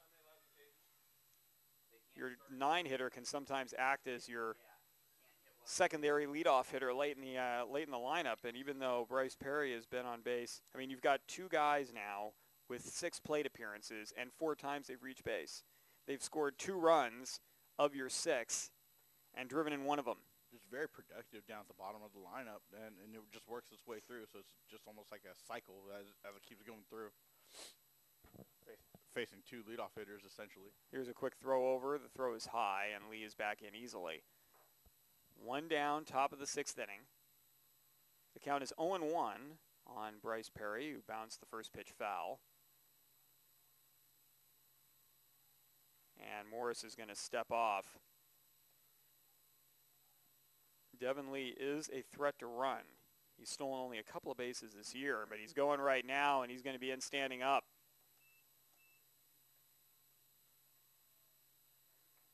It's a stolen base. I wouldn't necessarily call it catcher indifference because James looked interested, but realized if he threw down, he was not going to be in time. So, so instead of catcher indifference, it's catcher interest, but a stolen base nonetheless for Lee, and he's in scoring position with one out, and this one's going to be popped high in the air to center field. Isaac Thompson coming in on the ball, and he makes the grab for the second out of the inning.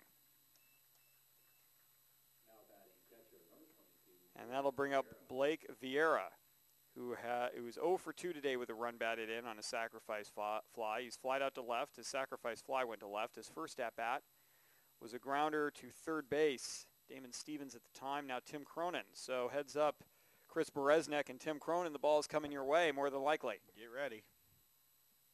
This is his first at bat against Hunter Morris as he faced Cronin in his first three. This one is down for ball one.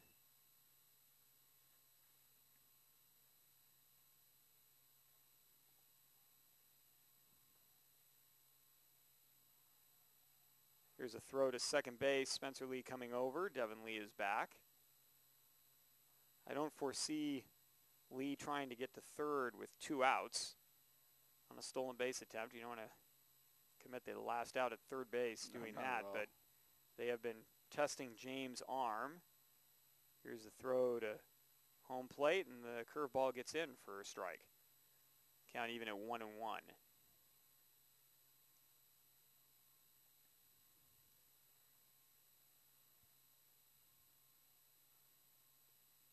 Morris checking second. The pitch to Vieira. There it is to the third baseman Cronin off his glove. He can actually make the tag, and he misses the base runner running by him, and Vieira is on on the error.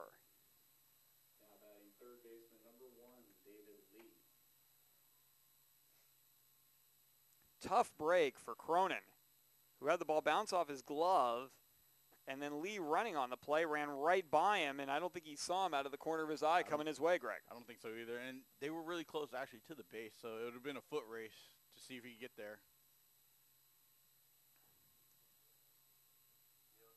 And here's something you don't see that often anymore, and I was wondering if that rule had been taken out at the high school level, the fake throw to third and the throw to first. Here is a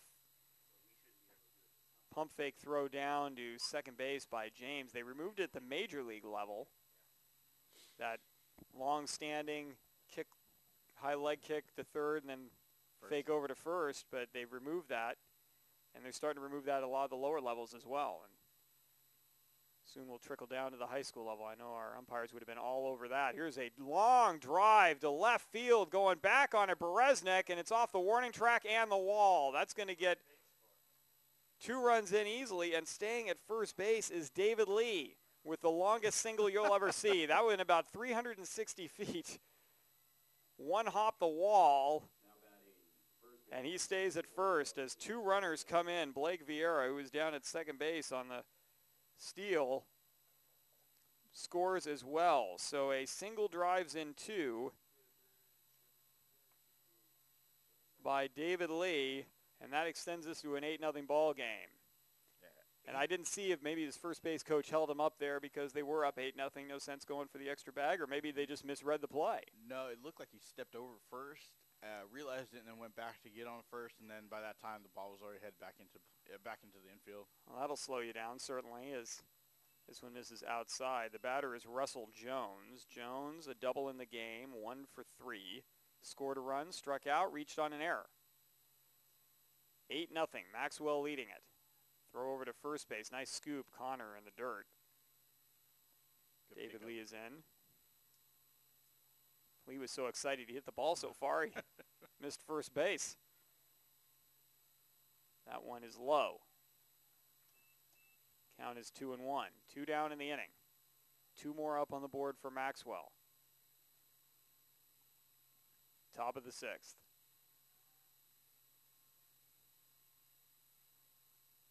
That's a curveball, and that is right down the heart of the plate, two and two. I was going to say, that was a really good curveball. Russell Jones is fourth at bat of the game, and he's in a bit of a hole with a runner at first. 2-2 pitch. That gets away from James. Getting down to second easily is David Lee on the pass ball.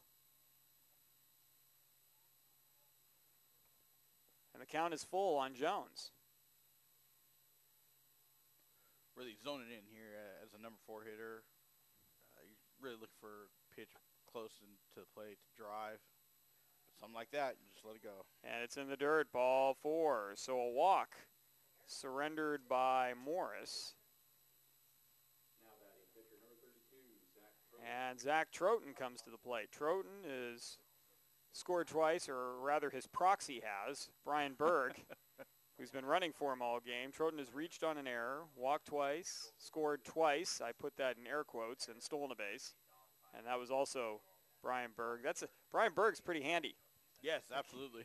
Score runs for you, steal bases. If you ask him nicely, he'll carry your books from one class to the other, get you a soda between classes, fifth and sixth period. There's a swing and a miss by Troughton. Big cut by Troughton. He was trying to really end this game right there with a three-run bomb. Berg will even take attendance at homeroom. First and second, two down. A jack of all trades. That's right. this one's going to get away from James again, and the runners will advance.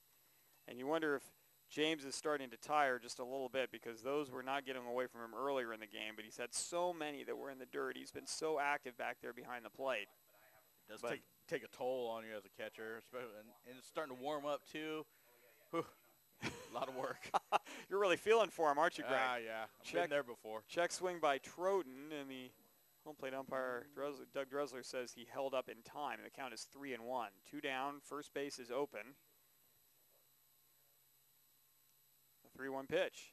That's going to be bounced right back to the pitcher Morris on two hops, knocks it down.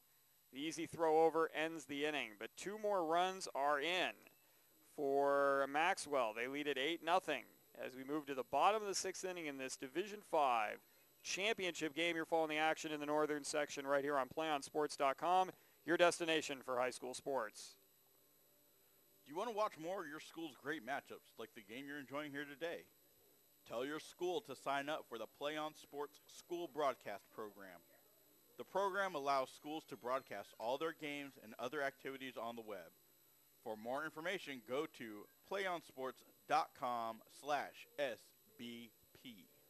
So we've got some movement on the infield for Maxwell. Zach Troughton is now off the mound. He's over at first base. That's displaced Russell Jones to third base. And David Lee has moved to the pitcher's mound. And he will take over and look to close out this baseball game for Maxwell. He'll be facing Isaac Thompson, Tristan James, and Chris Perez next. So the 7, 8, 9 hitters in the order for Chester. And we take a look at David Lee, the junior. Two and one this season. Season seven appearances, started two games, saved three of them. He saved the only three games of the year for Maxwell. 17 and two thirds innings, 22 strikeouts, just three walks, and he's given up only 13 hits. So he's l- allowing less than one base runner per inning. 16 base runners in 17 and two thirds. And I want that kid on my fantasy team. Yes, absolutely. So David Lee, the right-hander, will be out there. Again, Jones over at third base. Perry stays at short. Devin Lee stays at second. And Zach Troughton moves over to first base. Troughton, the pitcher of record.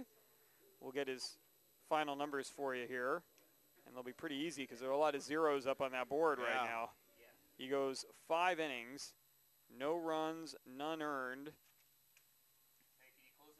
and gives up a mere three hits in the ball game while striking out five. Doesn't walk a batter. Good That's line. pretty darn good. Very good line for Troughton in the championship game, coming up big and performing for your team. It just makes it a lot much e- that much easier for your team to go out and just perform. So here is Isaac Thompson, and this is only his second at bat of the game, which shows you Troughton's mastery through five. As Lee is going to start him with a fastball in the outside corner for strike one. Thompson grounded to third base. That is a long time between at bats. That's a curveball that buckled my knees from up here in the box. and it's 0-2. What a great pitch. Good seams on baseballs will allow a lot more movement. This Ooh. one is going to be fisted to first base. It's a slow roller, and the quick toss to Troughton, underhanded by David Lee, gets the putout.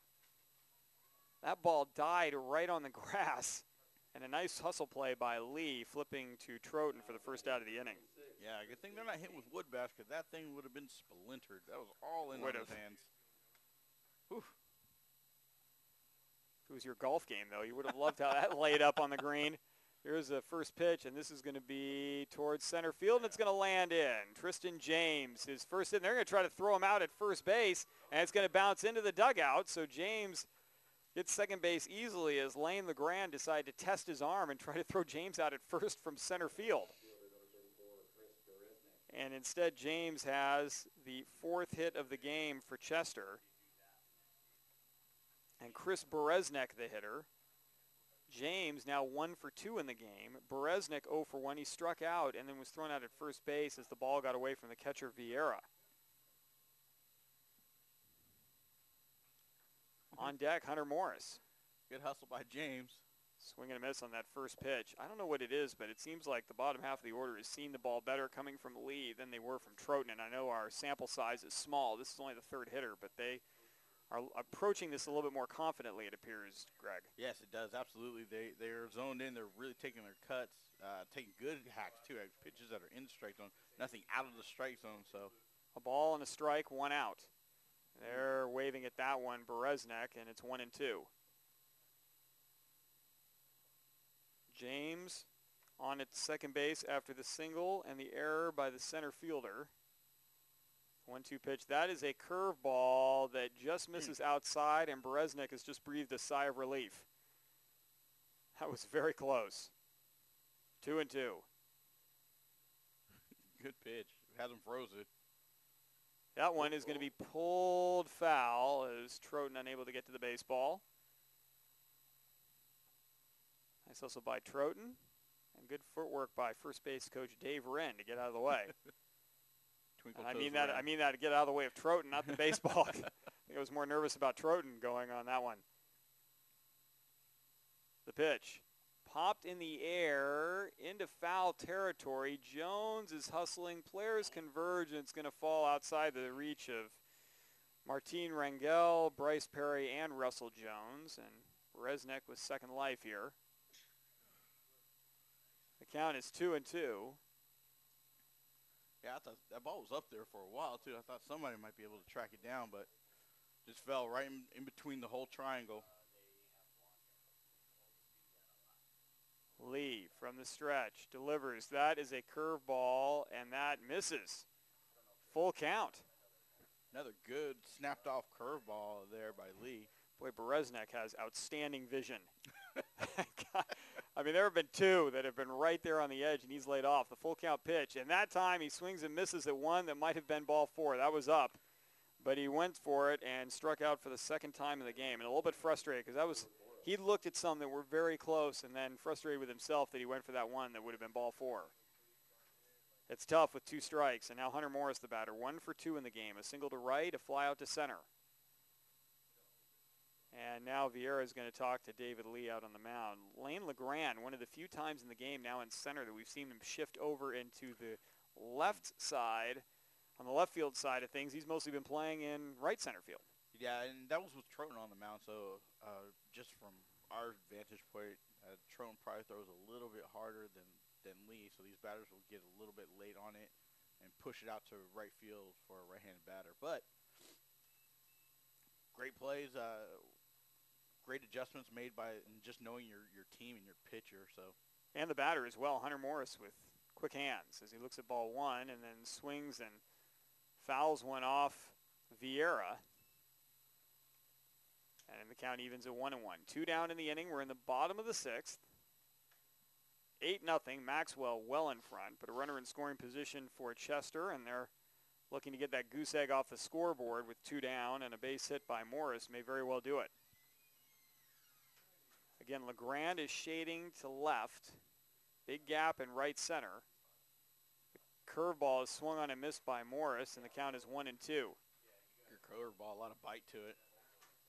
It's interesting. The outfield's playing Morris to pull, but the infield is not. It's the second baseman Devin Lee in the hole at second base. That's a curveball. It's going to be bounced towards the shortstop. Perry goes backhand, Oh. drops the baseball, and the runner's aboard.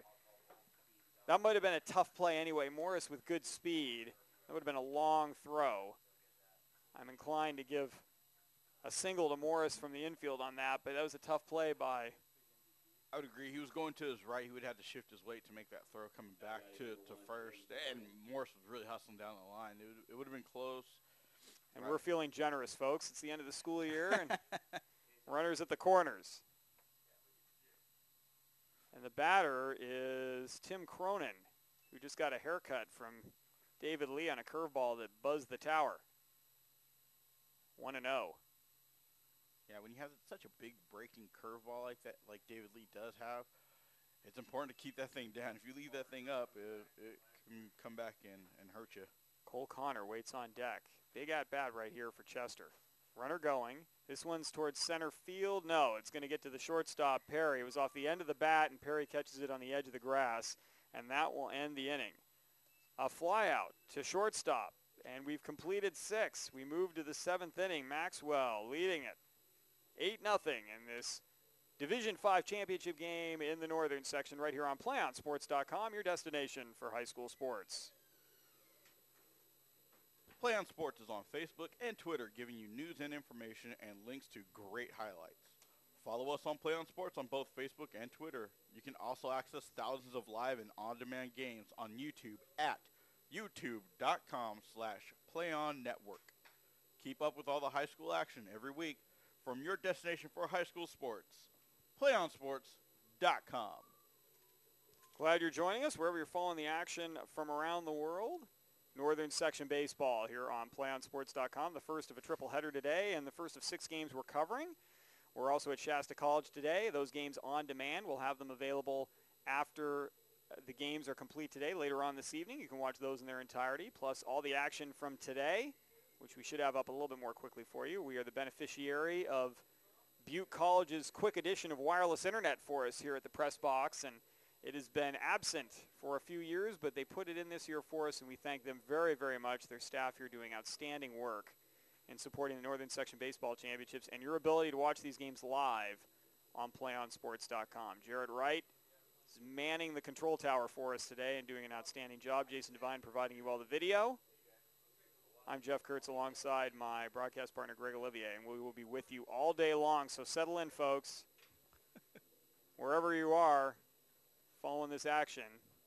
I, I, I always picture uh, it, with baseball, it's always been such a radio thing, and you're out there working on your yard on a beautiful sunny day, and now I've got it that people are got their handheld device in their pocket while they're clipping the lawn, taking care of the weeds, got their computer on in their garage while they're tinkering with whatever. Hopefully that's how your Saturday is going. We're certainly enjoying our time here at the ballpark. It's- Absolutely.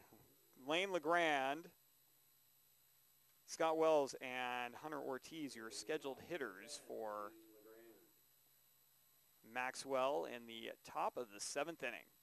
They've been in 11 straight championship games, losing last year, but in head coach Forrest Bateman's first year looking to give him a championship. We were joking with him before the game. He said, yeah, we've been here 11 years in a row, and it's my first.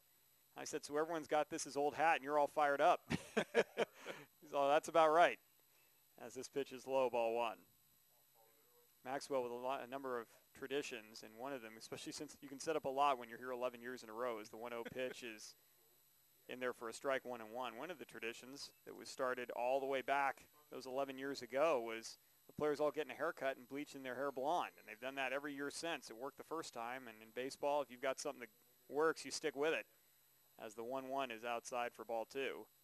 So everyone got that done, even the coaches, except for one of the assistants who was concerned that at his advancing age, he might lose hair as opposed to just having his hair go blonde. So he didn't want to gamble.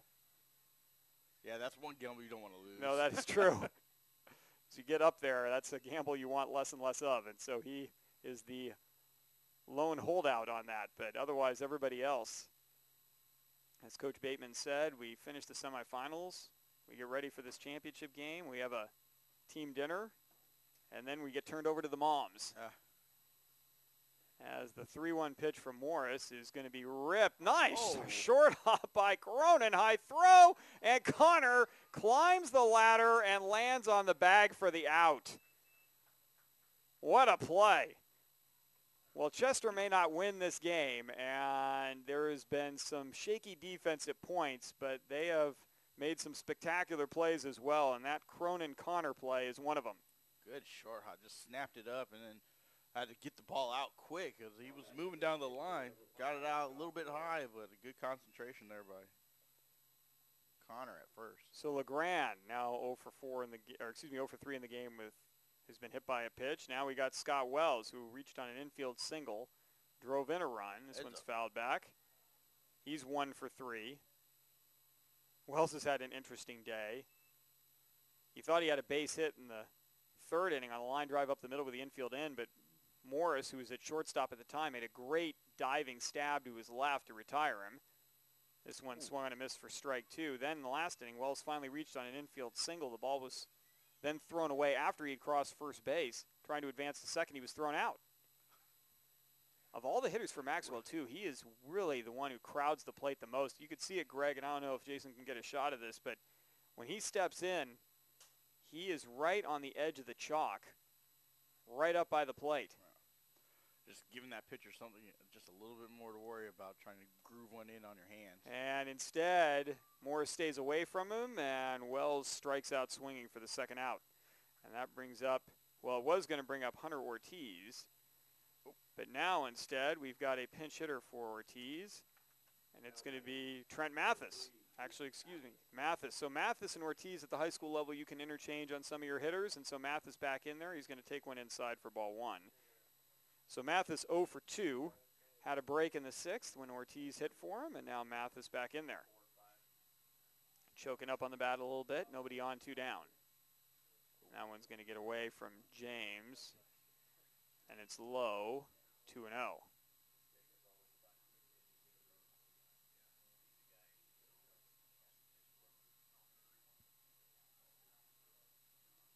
Hitters count right here for Mathis.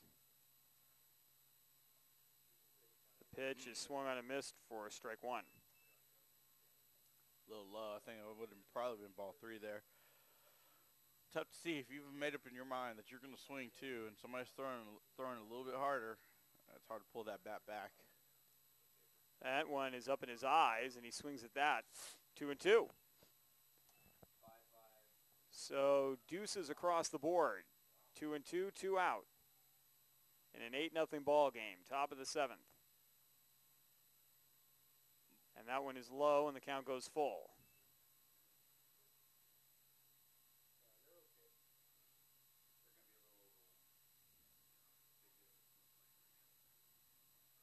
Here's the 3-2 pitch. Pops straight back, catches the top of the netting. I don't know what the baseball return policy is for these section championship games. I know in Little League you used to get a free Coke out of it or something if you return the baseball. And boy, at, when you're seven, eight, nine years old, that is high currency. As the ball is going to be high, ball four, and Mathis is aboard. Good at bat. He did take a couple questionable swings there. Uh, one ball away, low and low and away. Another ball up around his eyes, but worked the count, got a walk, and is on base now. And Brian Berg, who's becoming a folk hero for us in the press box, is going to give up being the designated runner for Zach Troughton and get a chance to hit. So Berg is the batter. And he's only had 15 plate appearances coming into this game, but he's batting 444. So he's taken advantage of those, driven in a run. Batting from that right-hand side. And now we've got time called as everyone was ready except for our home, cape, home plate umpire, Doug Dressler, and now he's set.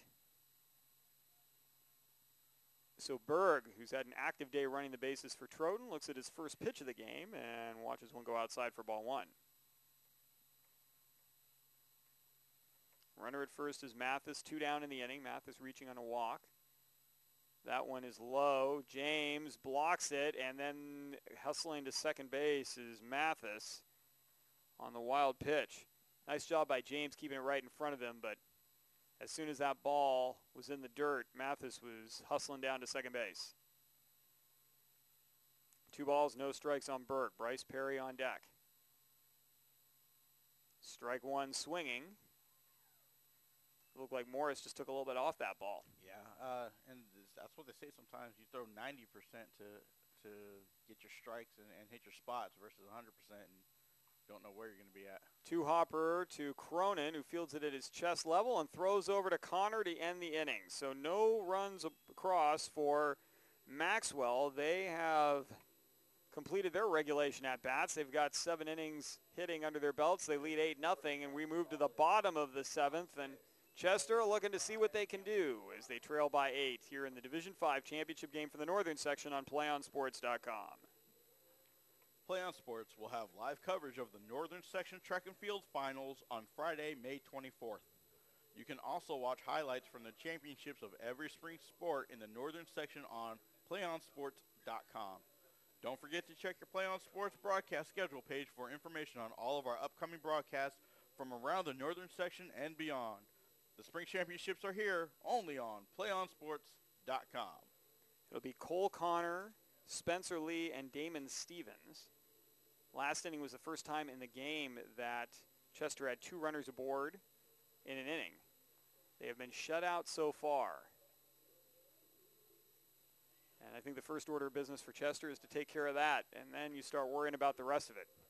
But they're down to their final three outs as Maxwell looking to put the finishing touches on a Division 5 championship, our first of three games here today on PlayOnSports.com. We move to Division 3 next. And in Division 3, we'll have a pretty good matchup for you, folks. As we've got Colusa and Colusa Winters. Playing Winters. Colusa and Winters. A matchup of uh, one and two seeds there as well in the Division Three championship game. Cole Connor, the batter, he's got an infield single, then was picked off of first base in the fourth inning. He's also struck out once in the game, one for two. And that one's going to be hit to left field, but coming on, Rangel, his first play of the game. And he retires Connor after one pitch, first out of the inning. And Connor a little bit frustrated with that because he got his best swing and drove the ball pretty well, but Rangel was there. And hit it right to him too. It's tough. I at that point you just want to keep swinging. Spencer Lee, the batter, 0 for 2, grounded to third in the second inning, flew out to center field in the fifth. And the center fielder Lane LeGrand playing him towards left. This pitch is well outside ball one. Not a save situation here for Lee. He came on when his team was already up 6 nothing, and they've added two since. This one is a swing and a miss on a chest-high fastball, 1 and 1. Troughton looking for his seventh win of the year and one that will give his team a Division 5 championship. And he is the pitcher of record right now for Maxwell. That pitch is well outside, and it's 2 and 1.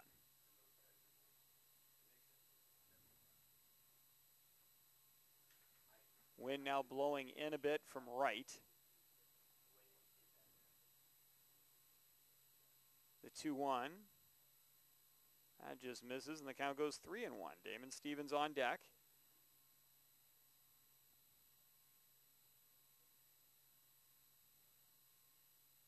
Three-one pitch, Oof. nice fastball, and Lee misses it, and the count is now full.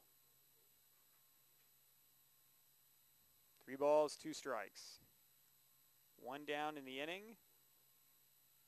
And make Ooh. that two as a knee-high fastball on the outside corner, an almost unhittable pitch, and Spencer Lee is retired. Oh, good pitch by David Lee there. That was just filthy on the outside corner, knee-high. Not much you can do with that pitch besides just foul it off, but Damon Stevens, one for two on the game, a single to right, a strikeout, and he pops this one straight back and out of play, 0-1. Stevens trying to keep this alive for Chester. Maxwell looking to close it out. Jason Schlueter on deck. The 0-1. That is a curveball that is strike two as Stevens was about to do the limbo under that ball, and it broke right back across the plate. The 0-2 pitch from Lee, who's not wasting any time now. Curveball bounced towards short. This could do it. Coming on is Perry. He's got the throw, and Troughton makes the catch, and that does it. Maxwell is your Division 5 champion.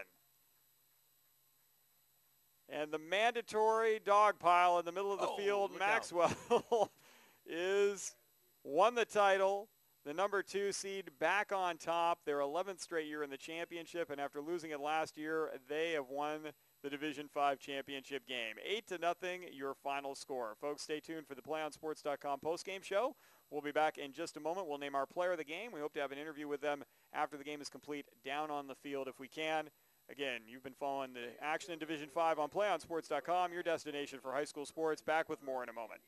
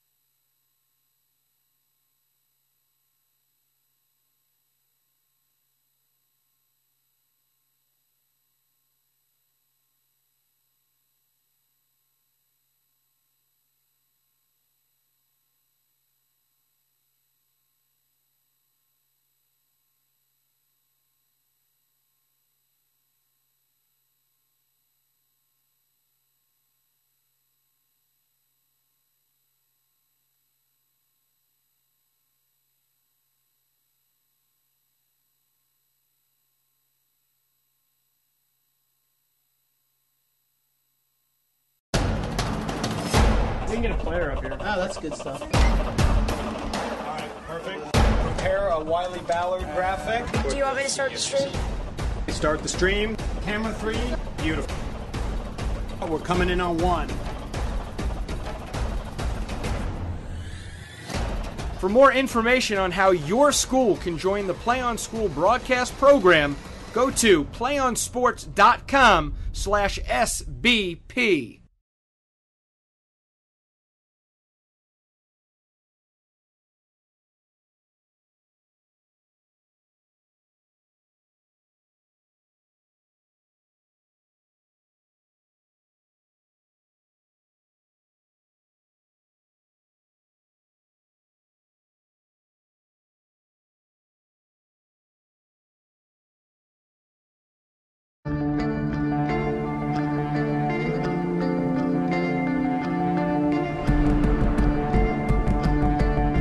One match away from immortality.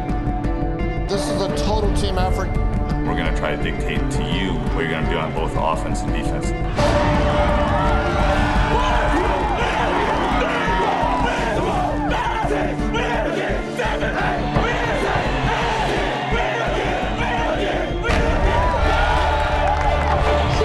We're going to come at you. One shot at this.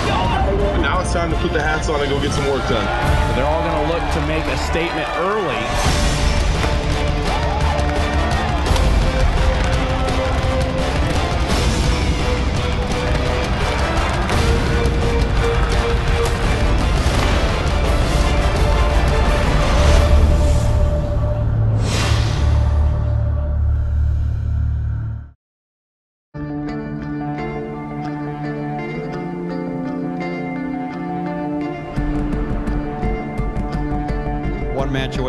Immortality.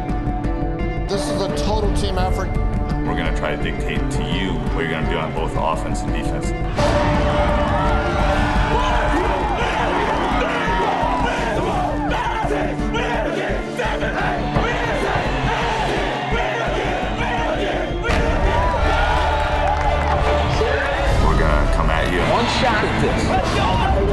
Time to put the hats on and go get some work done.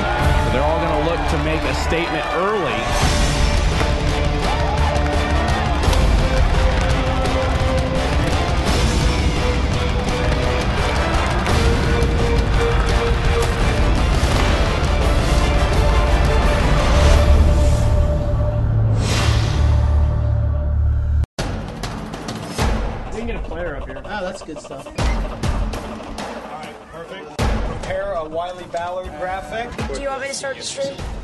Start the stream.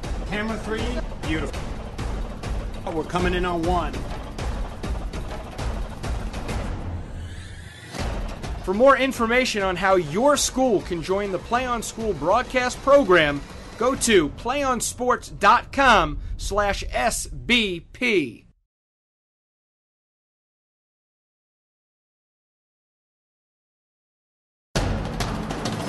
We can get a player up here. Oh, that's good stuff. Prepare a Wiley Ballard graphic. Do you want me to start the stream?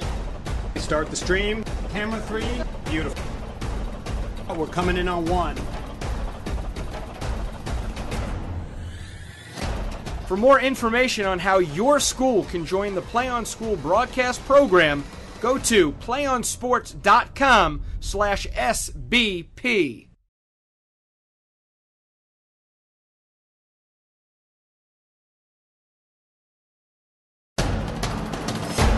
Get a player up here. Oh, that's good stuff. Perfect. Prepare a Wiley Ballard graphic. Do you want me to start the stream? Start the stream. Camera three. Beautiful. Oh, we're coming in on one. For more information on how your school can join the Play on School broadcast program, go to playonsports.com slash SBP. We can get a player up here. Oh, that's good stuff. Perfect. Prepare a Wiley Ballard graphic. Do you want me to start the stream? Start the stream. Camera three. Beautiful.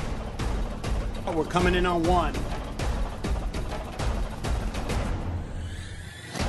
For more information on how your school can join the Play on School broadcast program, go to playonsports.com. One match away from immortality. This is a total team effort.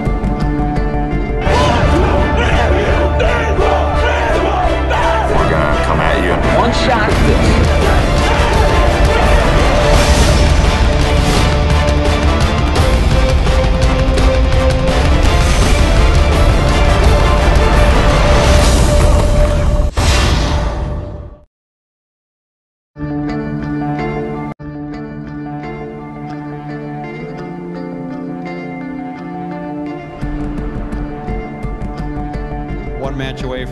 from immortality. This is a total team effort. We're gonna try to dictate to you what you're gonna do on both offense and defense.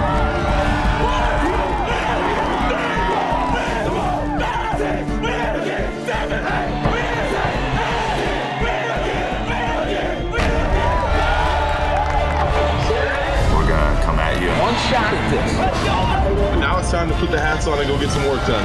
They're all going to look to make a statement early.